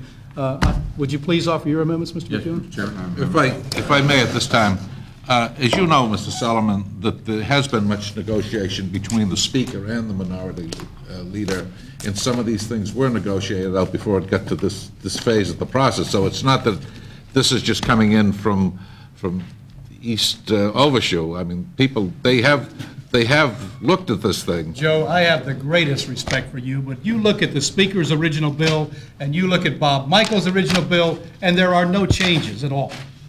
I mean, No, that's not true. They dropped the tax records. and They They dropped, what? that- they dropped the tax records, and they dropped any reference to George Bush. well, there was nothing in this bill. uh, No, but I'm This whole saying, thing has to do with George Bush. I mean, no, I'm, I'm saying that there, there was a meeting, and they did drop three or four things that uh, Mr. Michel wanted dropped. The whole investigation is effective. And that was prior to introducing the resolution. So, I mean, I just don't want it to say that this was just printed and, and just put here and jammed down everybody's throat. Mr. Chairman, I- McEwen. I have an amendment. Let let me just say before we start, I understand that people in the Rules Committee have to do bidding, and and this isn't personal, and we respect your integrity, and, and uh, I think this is basically pretty smelly work, but we're going to go ahead and, and, uh, and and we got to plow through this, and uh, I think this is going to be a black mark on, on the Congress, which is just about the last thing it needs this year, but nevertheless, uh, I'm going to take them individually, the part, the parts of the Republican substitute, including the Carter campaign, six-month deadline, making the rules of the House apply, and uh, cooperating with the Senate so that we don't have to have two gumshoes going to Paris back and forth and all that. We we can coordinate a little bit, as well as having a bipartisan composition. And I'll yield to the gentleman from New York as to how many recorded votes we have, but at this point, uh, I would, I would move the uh, second amendment that we have before us, which is to include the Carter campaign uh, within the scope of the inquiry. You've heard the motion, the gentleman from Ohio. Any conversation, any discussion? Mr. Wheat? Just very briefly point out, it's not the Carter campaign that was involved. We were talking again about the, the President of the United States and the Mr. administration Chairman, at the let me respond. I don't know who made these allegations. The response, the reason that we don't want to investigate all of the facts is because they said, well, no one's made any allegations. I don't know who made any allegations to start with. And whoever made all these allegations about the Reagan campaign, let me just say I'm making all the allegations about the Carter campaign. So if anybody says we didn't have any allegations, you got them now. Mine are just as fluid, just as responsible, and just as in-depth as the ones that were made about Mr. Reagan. So that handles whether or not there were no allegations. There are now allegations. I submit that the statement by Mr. Sick, the sick man on the Na- National Security Council that did the book and said that he made the deal, uh, I believe that that is sufficient information, he even named the figures, that's su- sufficient information for them to include them in the scope of the investigation. And so I, uh, my amendment is to include the Carter campaign within the scope of the inquiry, as well as any violations by the administration of the President's executive order, which is before you as amendment number two. Question comes on, Mr. Solomon? I would move the amendment. All right. Question comes on the motion, gentleman from Ohio. All those in favor say aye. Aye. Opposed, no. No. The noes appear to have it, the motion is not adopted. I have to Clerk will call the roll. for the vote. Mr. Derrick? No. Mr. Beilenson? No. Mr. Frost? No. Mr. Bonior? Mr. Hall? Mr. Wheat? No. Mr. Gordon? No. Ms. Lawler? Mr. Solomon? Aye. Mr. Quillen? Aye. Mr. Dreier? Aye. Mr. McEwen? Aye. Mr. Chairman? No. On this matter, four members having voted in the affirmative, six in the negative, the motion of the gentleman from Ohio is not adopted. Debated a six-month deadline, so I have to go Chairman? to the, uh, number Mr. four. Beilenson. I want to say something, if I may. I'm uncomfortable with some of these votes. We're the committee with original jurisdiction, but we had nothing to do, at least most of us, with respect to determining what the procedures would be under which this proposed task force would operate. I believe, I happen to agree only to a very minor extent with some of the suggestions made by our friends on the other side, but I really don't like being in the position where I can't, without messing things up around here, I'm certainly not going to undercut my friend to my right here, and others who've been interested in this for a long time, who've been heavily involved in it by, you know, voting against their position. But I've, I've been of the opinion from the beginning, as I expressed last week, and I may well be wrong, because I don't know what efforts have been made, I don't know which people have been involved in it, but I really think that some greater effort could have produced some successful results in terms of at least some accommodations to our minority friends' suggestions with respect to procedures. Uh, I don't know if, if, uh, you know, we gave way on two or three or four of these things, that they would even support the thing, uh, the, the overall resolution. Uh, Frankly, I don't really care that much. I think we do have to show that we mean to be as nonpartisan as possible. I think some of their suggestions have some merit.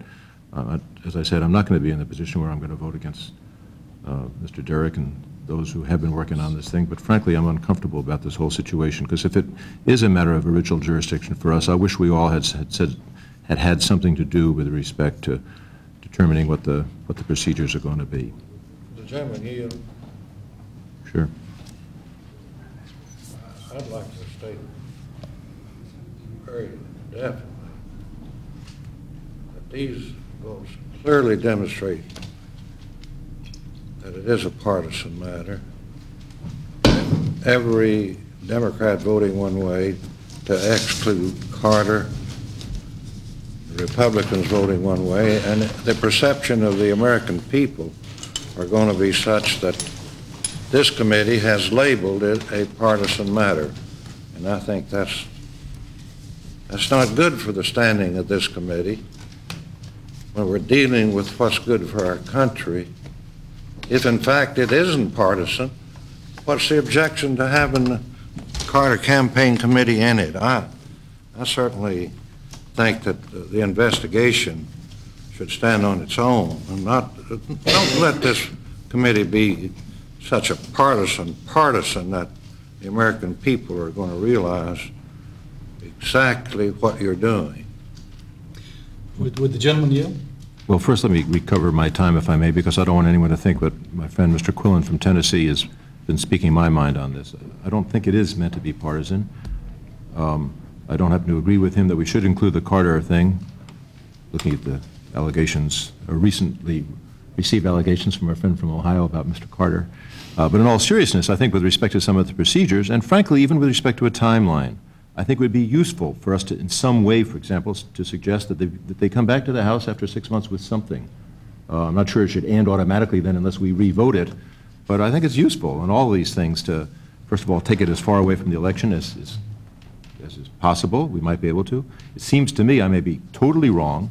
As I said before, if, if, if folks on the other side or anywhere else do undertake dilatory tactics, Mr. Hamilton and the other chaps on the majority side are going to say that immediately, and I think they'll shame them into stop doing it, because, I mean, it's going to be obvious that they're trying to stop, slow things up so we, they don't hit a six-month deadline. I don't think it should drop dead at the end of, of six months, but I, I I suspect, sure, but I also do think, as our, as our friend here has said, because I was with him last week when we talked to the GAO people first time, and again today, um, I think in a relatively short period of time, once you've hired on a couple of investigators, whatever you're going to do, you look around, you figure out the most important people to talk to, and you can talk to them all and subpoena them all and go see them all within two, three, four months period of time.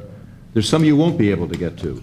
And if they come back to us or to the House or to themselves, in fact, last week I had Mr. Hyde agree that we didn't have to come back to the House, that the, that the task force itself would make the determination whether or not it would go on, so it wouldn't have to come back to a vote of the House. Uh, and and on top of which, I just think it would be useful to, to tell these chaps, whoever they're going to be, that we'd like you to do it as quickly as possible. We'd like you to, to aim for six months. Quite obviously, if you can't do it in that time, or there's some loose ends, keep going. Um, and there may be some other way of handling that. But there's nothing wrong with our putting some kind of a timeline on it for them. Especially if it doesn't really end it automatically at that time. But that may, you know, that may not be useful to you chaps over there. And I don't, again, do not, Could could I, uh, I just think that one- that one can make some gestures to the other side which don't hurt the investigation, keep it looking and in fact being as nonpartisan as possible, and keeping everybody a little bit happier. would the But gentleman... but I may be making some folks over here unhappy, Well, of course. Which, which gentleman are you yielding? Yielding to Mr. Derrick. The one that asked you first? Uh, I thank my friend from California for his comments. You know, there is a provision in the resolution that calls for a report by the committee back to the Congress by July the 1st. Uh, And uh, I think that should satisfy uh, the minority. We can evaluate it at that time, and if uh, there are those who don't want to go ahead with it, that's determined. But let's put it in a positive sense rather than, than than in a negative sense. You know, I go back to the Iran-Contra thing. Members who have served on that committee told me that the reason they felt they never got to the truth of the matter, you know, it would be, I mean, if you could call up somewhere and get someone to come down here and give you testimony in, uh, in a week or, or a few days, that's one thing. But, but I have been told that sometimes it took three or four months because there, as you know, uh, Tony, you're a lawyer as well, there are all sorts of tactics that you can use to keep from, and you know, what I suggest to you, if there are, if there are those, and I'm not implying that they're over here on the other side of the committee, but if there are those who do not wish to get this, uh, uh, to, for, for this uh, hearing and, and this to go, investigation to go forward, if we put a time limit in there, we are offering them a perfect opportunity to kill this investigation. And, and, and you know, I'm telling you that the people who you respect and I respect have told me that if they had to do the Iran-Contra thing over again, they'd never put a time limit in there because it was used to keep them from getting at the truth of the matter. I accept that. I also, and I also must say, candor, that I had forgotten momentarily about the requirement for a report back, and that's obviously a helpful kind of thing. And obviously, at that time, too, the House make a determination, even if it's not provided for specifically in the, in the uh, resolution here, to keep this going or not. Would, would the gentleman yield at this point? Sure. Of course. Well, Just to respond uh, somewhat to uh, my good friend Butler Derrick, uh, yes, there was no time limit on the Iran-Contra. It is still going on today, four years and $40 million later. But, uh, Tony, I I really do... Respond to me, not to because that's I understand, off, but right. let me get back to what you said, because, uh, you know, you talked about this committee and your subcommittee, as a matter of fact, and yours, Mr. Dreier. Uh, You know, we, ha- we have the responsibility for reforming the rules of the House, and it's kind of ironic that here, with this issue, which is before our jurisdiction, we had nothing to say about it whatsoever. Yet, what do we have pending before us now? The Banking Committee and the Energy and Commerce Committee have thrown in our laps a banking bill, which is not within our jurisdiction, and says, go ahead and write the banking bill. It just doesn't make sense, but At least we're allowed to write that. Should feel- The gentleman should feel We'll happy get that about that. opportunity. But uh, the truth of the matter is, Tony, we really should uh, reform the rules of the House.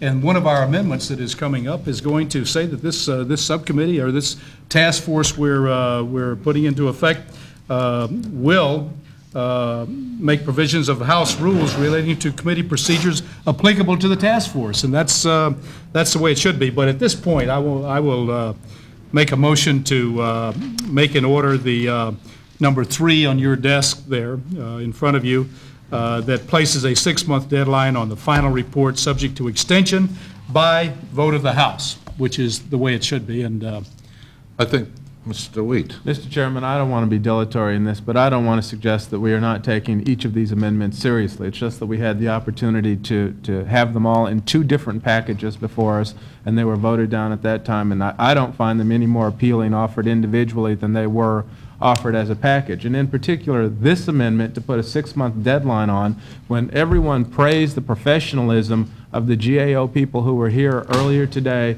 and they told us that when they inquired into two very narrow matters, that it took them from July until February. And I don't see how realistically we can ask them to, or anyone, to expand the horizons of the inquiry or investigation and give them a shorter time period to do it. If, you know, if, if that's uh, what we are suggesting, then, you know, we shouldn't have any- any inquiry at all because it wouldn't be done seriously.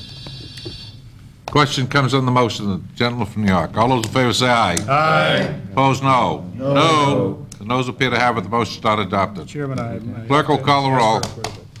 Mr. Derrick? No. Mr. Beilenson? No. Mr. Frost? No. Mr. Bonior? No. Mr. Hall? Mr. Wheat? No. Mr. Gordon? No. Ms. Slaughter? Mr. Solomon? Aye. Mr. Quillen? Aye. Mr. Dreier? Aye.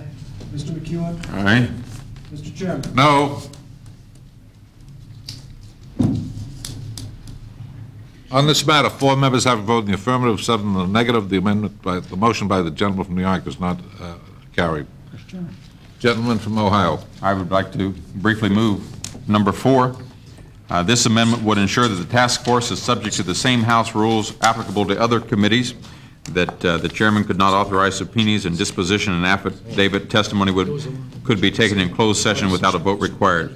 A majority quorum would be required to close meetings and hearings as required by the House rules. The purpose of this amendment is to conform the task force to the model resolution as contained in the Rules Committee's guidelines for the establishment of select committees, 1983 committee print, to ensure orderly procedures, fairness, and protection of the rights of witnesses. Mr. Chairman, this amendment simply incorporates what we suggested should be done. We are the Committee of Original Jurisdiction. Mr. Oliver, or whoever wrote this resolution, did not include these provisions, and I think that we, as, as the Rules Committee, suggesting for the rest of the Congress that they should abide by it, is an ample opportunity for us to lead by example. The gentleman alluded to Mr. Oliver writing this, Well, I, I- I don't know, the, the the author, I, as I understand it, we are the Committee of Original Jurisdiction, therefore we should write it. But yet, when we've made suggested amendments, they said that that wasn't agreed to. So whoever agreed to it decided to not to include the suggestions of the Rules but, uh, Committee, do- that the- select committees should abide by the rules. So therefore, I'm attempting to amend in this small area to say that, that the witnesses and the subpoenas and the, and the, the uh, closed meetings abide and conform by the, to the House rules as was suggested by this committee. gentleman's not trying to say that Mr. Oliver, whose name has been mentioned here, had anything to do with presenting this. To my result. knowledge, Mr. Chairman, I have never met Mr. Oliver, and I wouldn't know either way what he does or doesn't do. Okay. Question comes on the motion, the gentleman from Ohio. All those in favor say aye. Aye. Opposed, no. No. The noes appear to have it, the motion is not adopted. Chairman, I would ask for... Clerk will call the roll. Mr. Derrick? No. Mr. Beilenson? Mr. Mr. Frost? No. Which one is it? Mr. Bonior? No. Number four. Mr. Hall? Mr. Wheat? No. Mr. Gordon? No. Ms. Slaughter? No. Mr. Solomon? This is the one that applies the rules of the House? Yeah, number four. Clerk is calling the roll. Aye. Asking for clarification. Aye. Are they getting closer? Mr. Aye. Mr. McEwen? Aye. Mr. Chairman? No.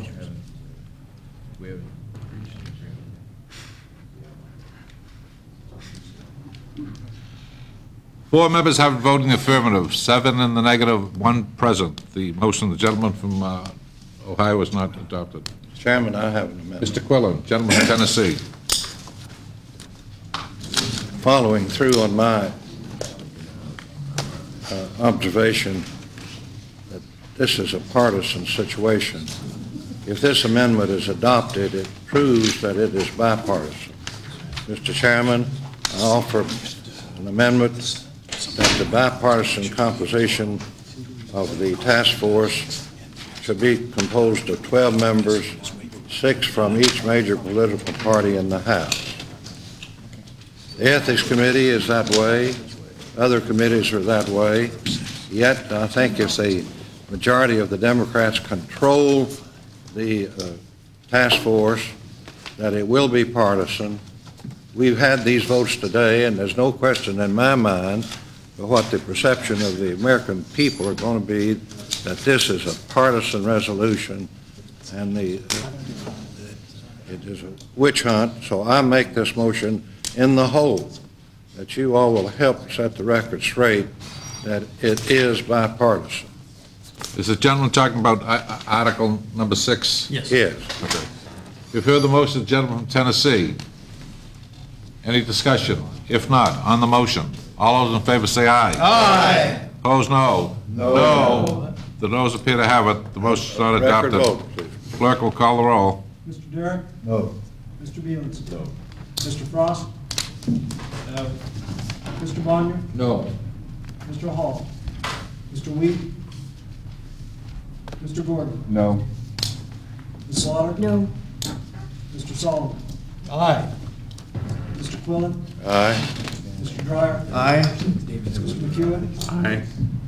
Mr. Chairman? No.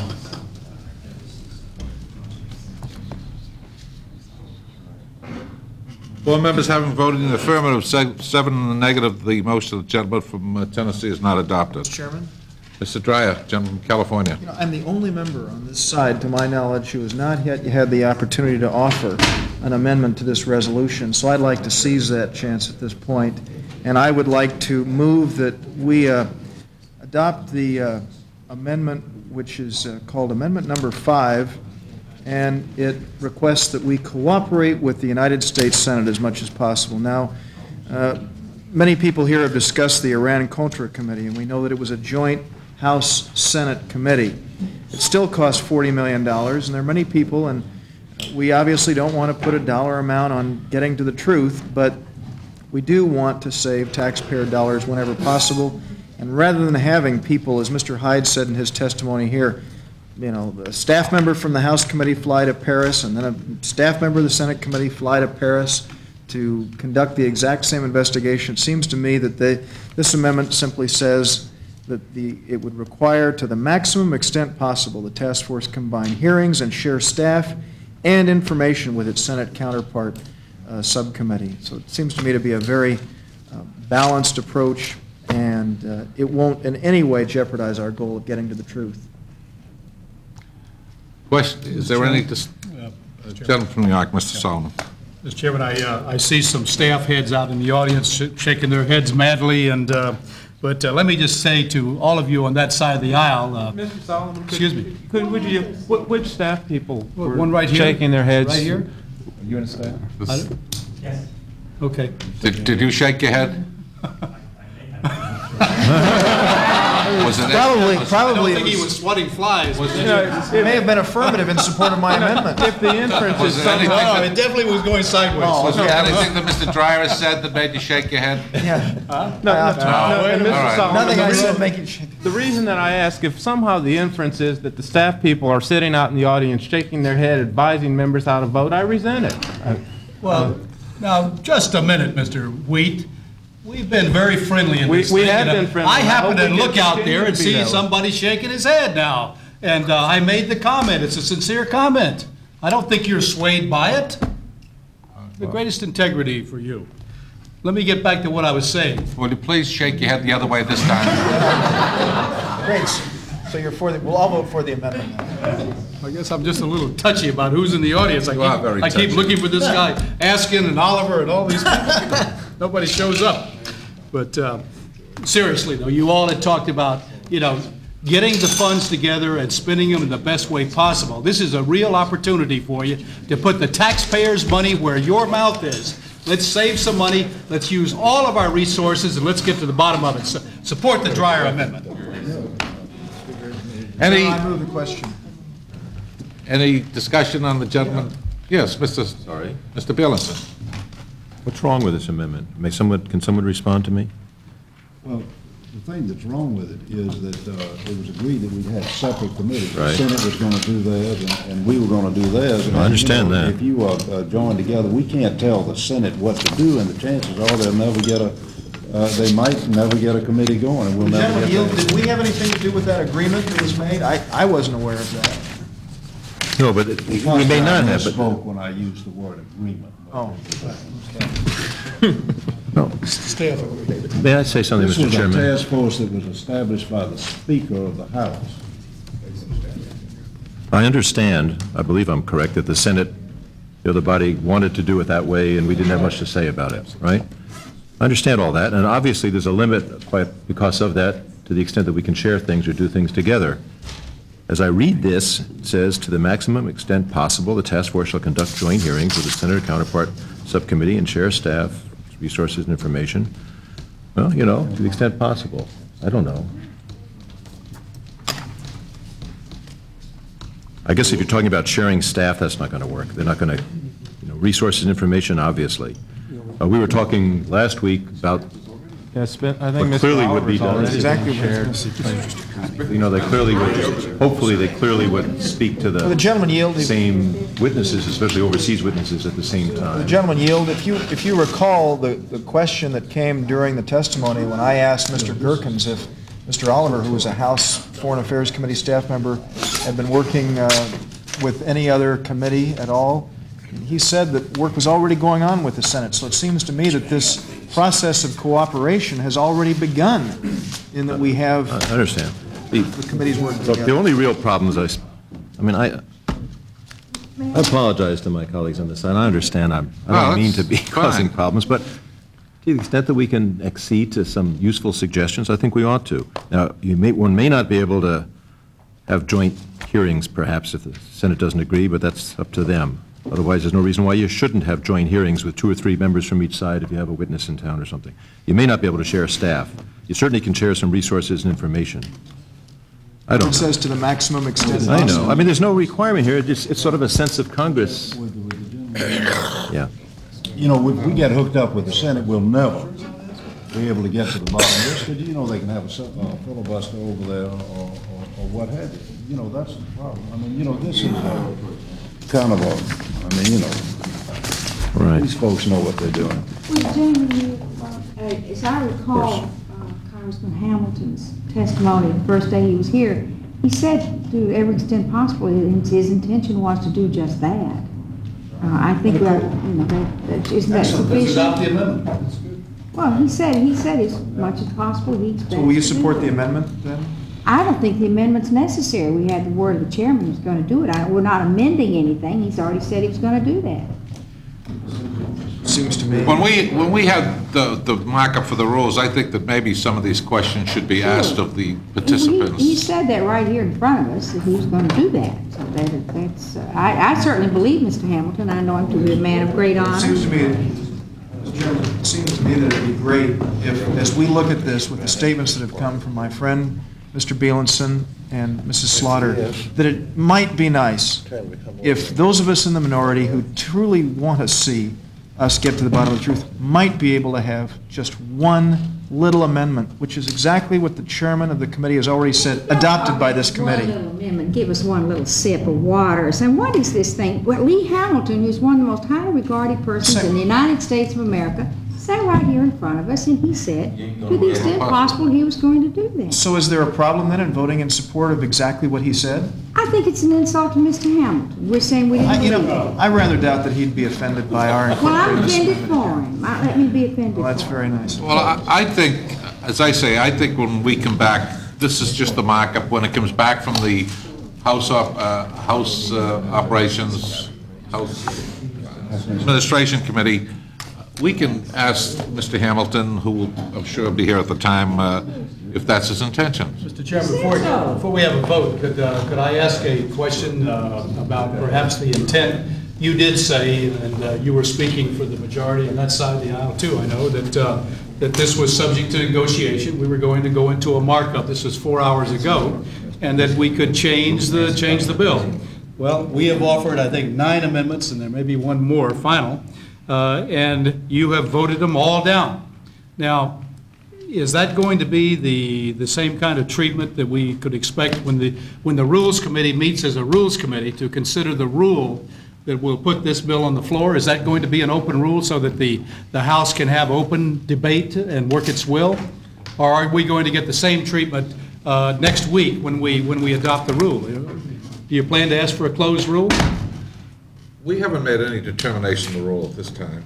uh, and as you well know, that, uh, uh, that this committee uh, is just carrying out the wishes of the leadership on this matter, that we don't have, we didn't have the, uh, the input in this matter that we usually have in other matters, because this is a, a, a, something that has been discussed between the speaker and the majority leader, and, uh, a minority leader, I'm sorry, and I think that we do have another round at it. We, we see what shape it's in when it comes back from the, the Committee on House Administration, then we have another shot at it at the Rules Committee. Now, Well, what kind of rule it's going to be, I don't know. You know, I'm just, I'm, uh, I get awfully frustrated, you know, uh, I'm embarrassed uh, to think that, that th- this committee is acting as a committee, not as the Rules Committee now. We're marking up a bill, and by golly, no Republican leader can tell me what to do. I'm going to do what I think is best, and I expect every member of this Congress to do the same thing. And now to be sit here and tell us that, well, the leadership's going to come out here with a closed rule, and, uh, and this will be it on the No, floor. I just think that's I wrong. didn't mention closed rule at all. I said we have no, we don't know what kind of rule will be forthcoming when we return here to, to, to grant a rule to this bill. Okay, Mr. Chairman, I'll mark my word, uh, at the Rules Committee, we're going to, we're going to see what happens. Question comes on the motion of the patient gentleman from California, Mr. Dreier. All those in favor say aye. Aye. Opposed, no. No. The noes Speaker, appear to have it. record vote. Clerk will call the roll. Mr. Dare? No. Mr. Beilenson? Present. Mr. Frost? No. Mr. Bonior? Mr. Hall? Mr. Wheat? No. Mr. Gordon? No. Ms. Slaughter? No. Mr. Quillen? Uh, Mr. What about Mr. I'm Solomon? Mr. Solomon? Thank you. Aye. Mr. Quillen? Aye. Mr. Dreier? Aye. Mr. McEwen? Aye. Mr. Chairman? No. Reason he didn't call you, he thought you were out looking for Mr. Askin. On this matter, four members having voted in the affirmative, six in the negative, one abstaining. The, the motion, one voting present, uh, the motion is not adopted. Mr. McEwen. Chairman, I have one uh, further amendment. It- It's a taxpayer relief amendment. It would go to page eight, line 17, and add the following. The provisions of this resolution shall be effective upon the termination of the office of Special Counsel Lawrence Walsh, who was appointed, who was appointed in December 19, 1986, to investigate the allegations relating to the so-called Iran-Contra affair. Uh, This amendment would establish the effective date for the task force as contingent upon the termination of the Iran-Contra Special Prosecutor's Office, which has been mentioned is now, uh, we're going on, approaching the sixth year and $40 million. And before we start on another one of these uh, hunts, I really think that we we really ought to do only one at a time. And uh, and when two and a half million dollars, the gentleman, Mr. Beilenson, was chairman of the Intelligence Committee, in my opinion, one of the finest members ever to serve here. He doesn't need any accolades from me, but just a very principled man. But nevertheless, our hearing room up there was, was nothing to write home about. Mr. Walsh is here, has spent over $2 million just on a room in order to take testimony. Uh, And if we now start into this one, um, that was, that was just 1988. Now we're going back to 1979 and 1980. Uh, We're looking at a good decade or so of good, healthy spending coming along.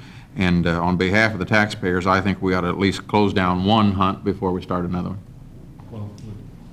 Gentleman from South Well, you know, Carolina. uh, the Congress didn't appoint Mr. Walsh. He was appointed by the President Reagan, so. uh, That- uh, The the uh, topic here to- isn't about whether or not he was appointed or not Well, appointed. so The why don't question is you? whether or not we well, start what on you- this hunt What you again. ought to do is call up to the White House and get them to discontinue Mr. Walsh, if that's your problem. I really have, I see no relationship between the two here. Well, if you were a taxpayer, you might. Well, I am a taxpayer, substantial, I might add. Glad to hear that. Yeah, we appreciate it. Question comes to the motion, gentleman from Ohio. All those in favor say aye. Aye. Opposed, no. No. The noes appear to have it. The motion is not adopted. The uh, question now comes to the gentleman from, uh, motion uh, from South Carolina. In the nature of a substitute. All those in favor say aye. Aye. Opposed, no. No. The ayes have it. The, the motion is adopted. Mr. Chairman? Mr. Chairman, I ask for a roll call. please. Clerk will call the roll. Mr. Dare? Aye. Mr. Beilenson? Aye. Mr. Frost? Aye. Mr. Bonior? Mr. Hall? Mr. Wheat? Aye. Mr. Gordon? Aye. Ms. Slaughter. Aye. Mr. Solomon. No. Mr. Quillen. No. Mr. Dreier. No. Mr. McEwen. No. Mr. Chairman. Aye. Mr. Bonior. Clerk will call Mr. Bonior. Mr. Bonior.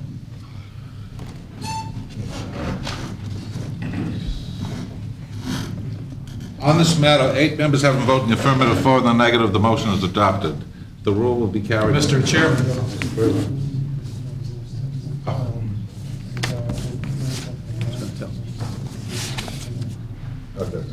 Uh, Members will have until 9 o'clock tomorrow morning to give us additional uh, supplemental views on this matter, and it'll be filed tomorrow. Mr. Chairman, I was just going to call attention, I think another vote might be necessary. Uh, uh, I- I- Don't we have to vote on the, uh, on the resolution as amended now? We did. No. Oh, I'm sorry. Oh, I'm sorry, the gentleman is correct. Just want you to do things right, that's all. Well, I'm trying. Question now comes to the resolution as amended. All those in favor say aye. Aye. Opposed, no. No. The ayes have it, the motion's adopted. Mr. Chairman? Gentleman from uh, New York, Mr. Solomon. Might I respectfully have a recorded vote? Oh, absolutely. Clerk will call the roll. Mr. Derrick. Aye. Mr. Belus. Aye. Mr. Frost. Aye.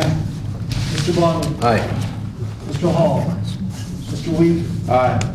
Mr. Gordon. Aye. Ms. Slaughter. Aye. Mr. Solomon. No. Mr. Quillen. No. Mr. Dreier. No. Mr. McEwen. No. Mr. Chairman. Aye.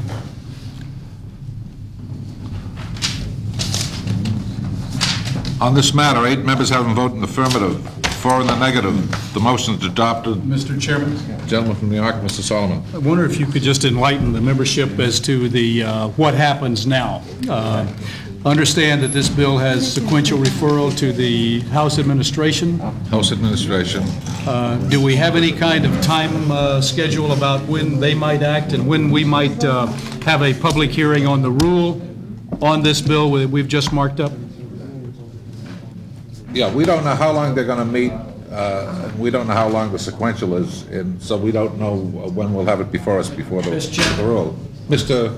Frost, uh, as a member of the committee. Let me advise Mr. Solomon that as the only member of this committee who also serves on House Administration, I'm anxiously awaiting the bill's arrival at House Administration.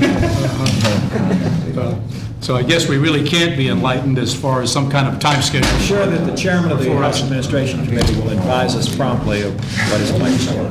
I thank the gentleman for his input. All right.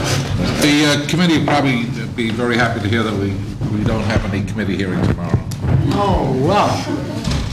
Uh, The gentleman from South Carolina will carry the uh, bill for... No, no, it's not a rule. I'm I'm sorry, yeah. Committee is adjourned. Thank you for your patience. I'll tell you, hey,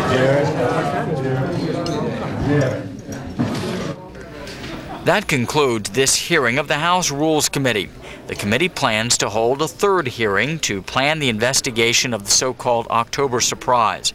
The C-SPAN networks will provide coverage of that hearing, which will take place next week.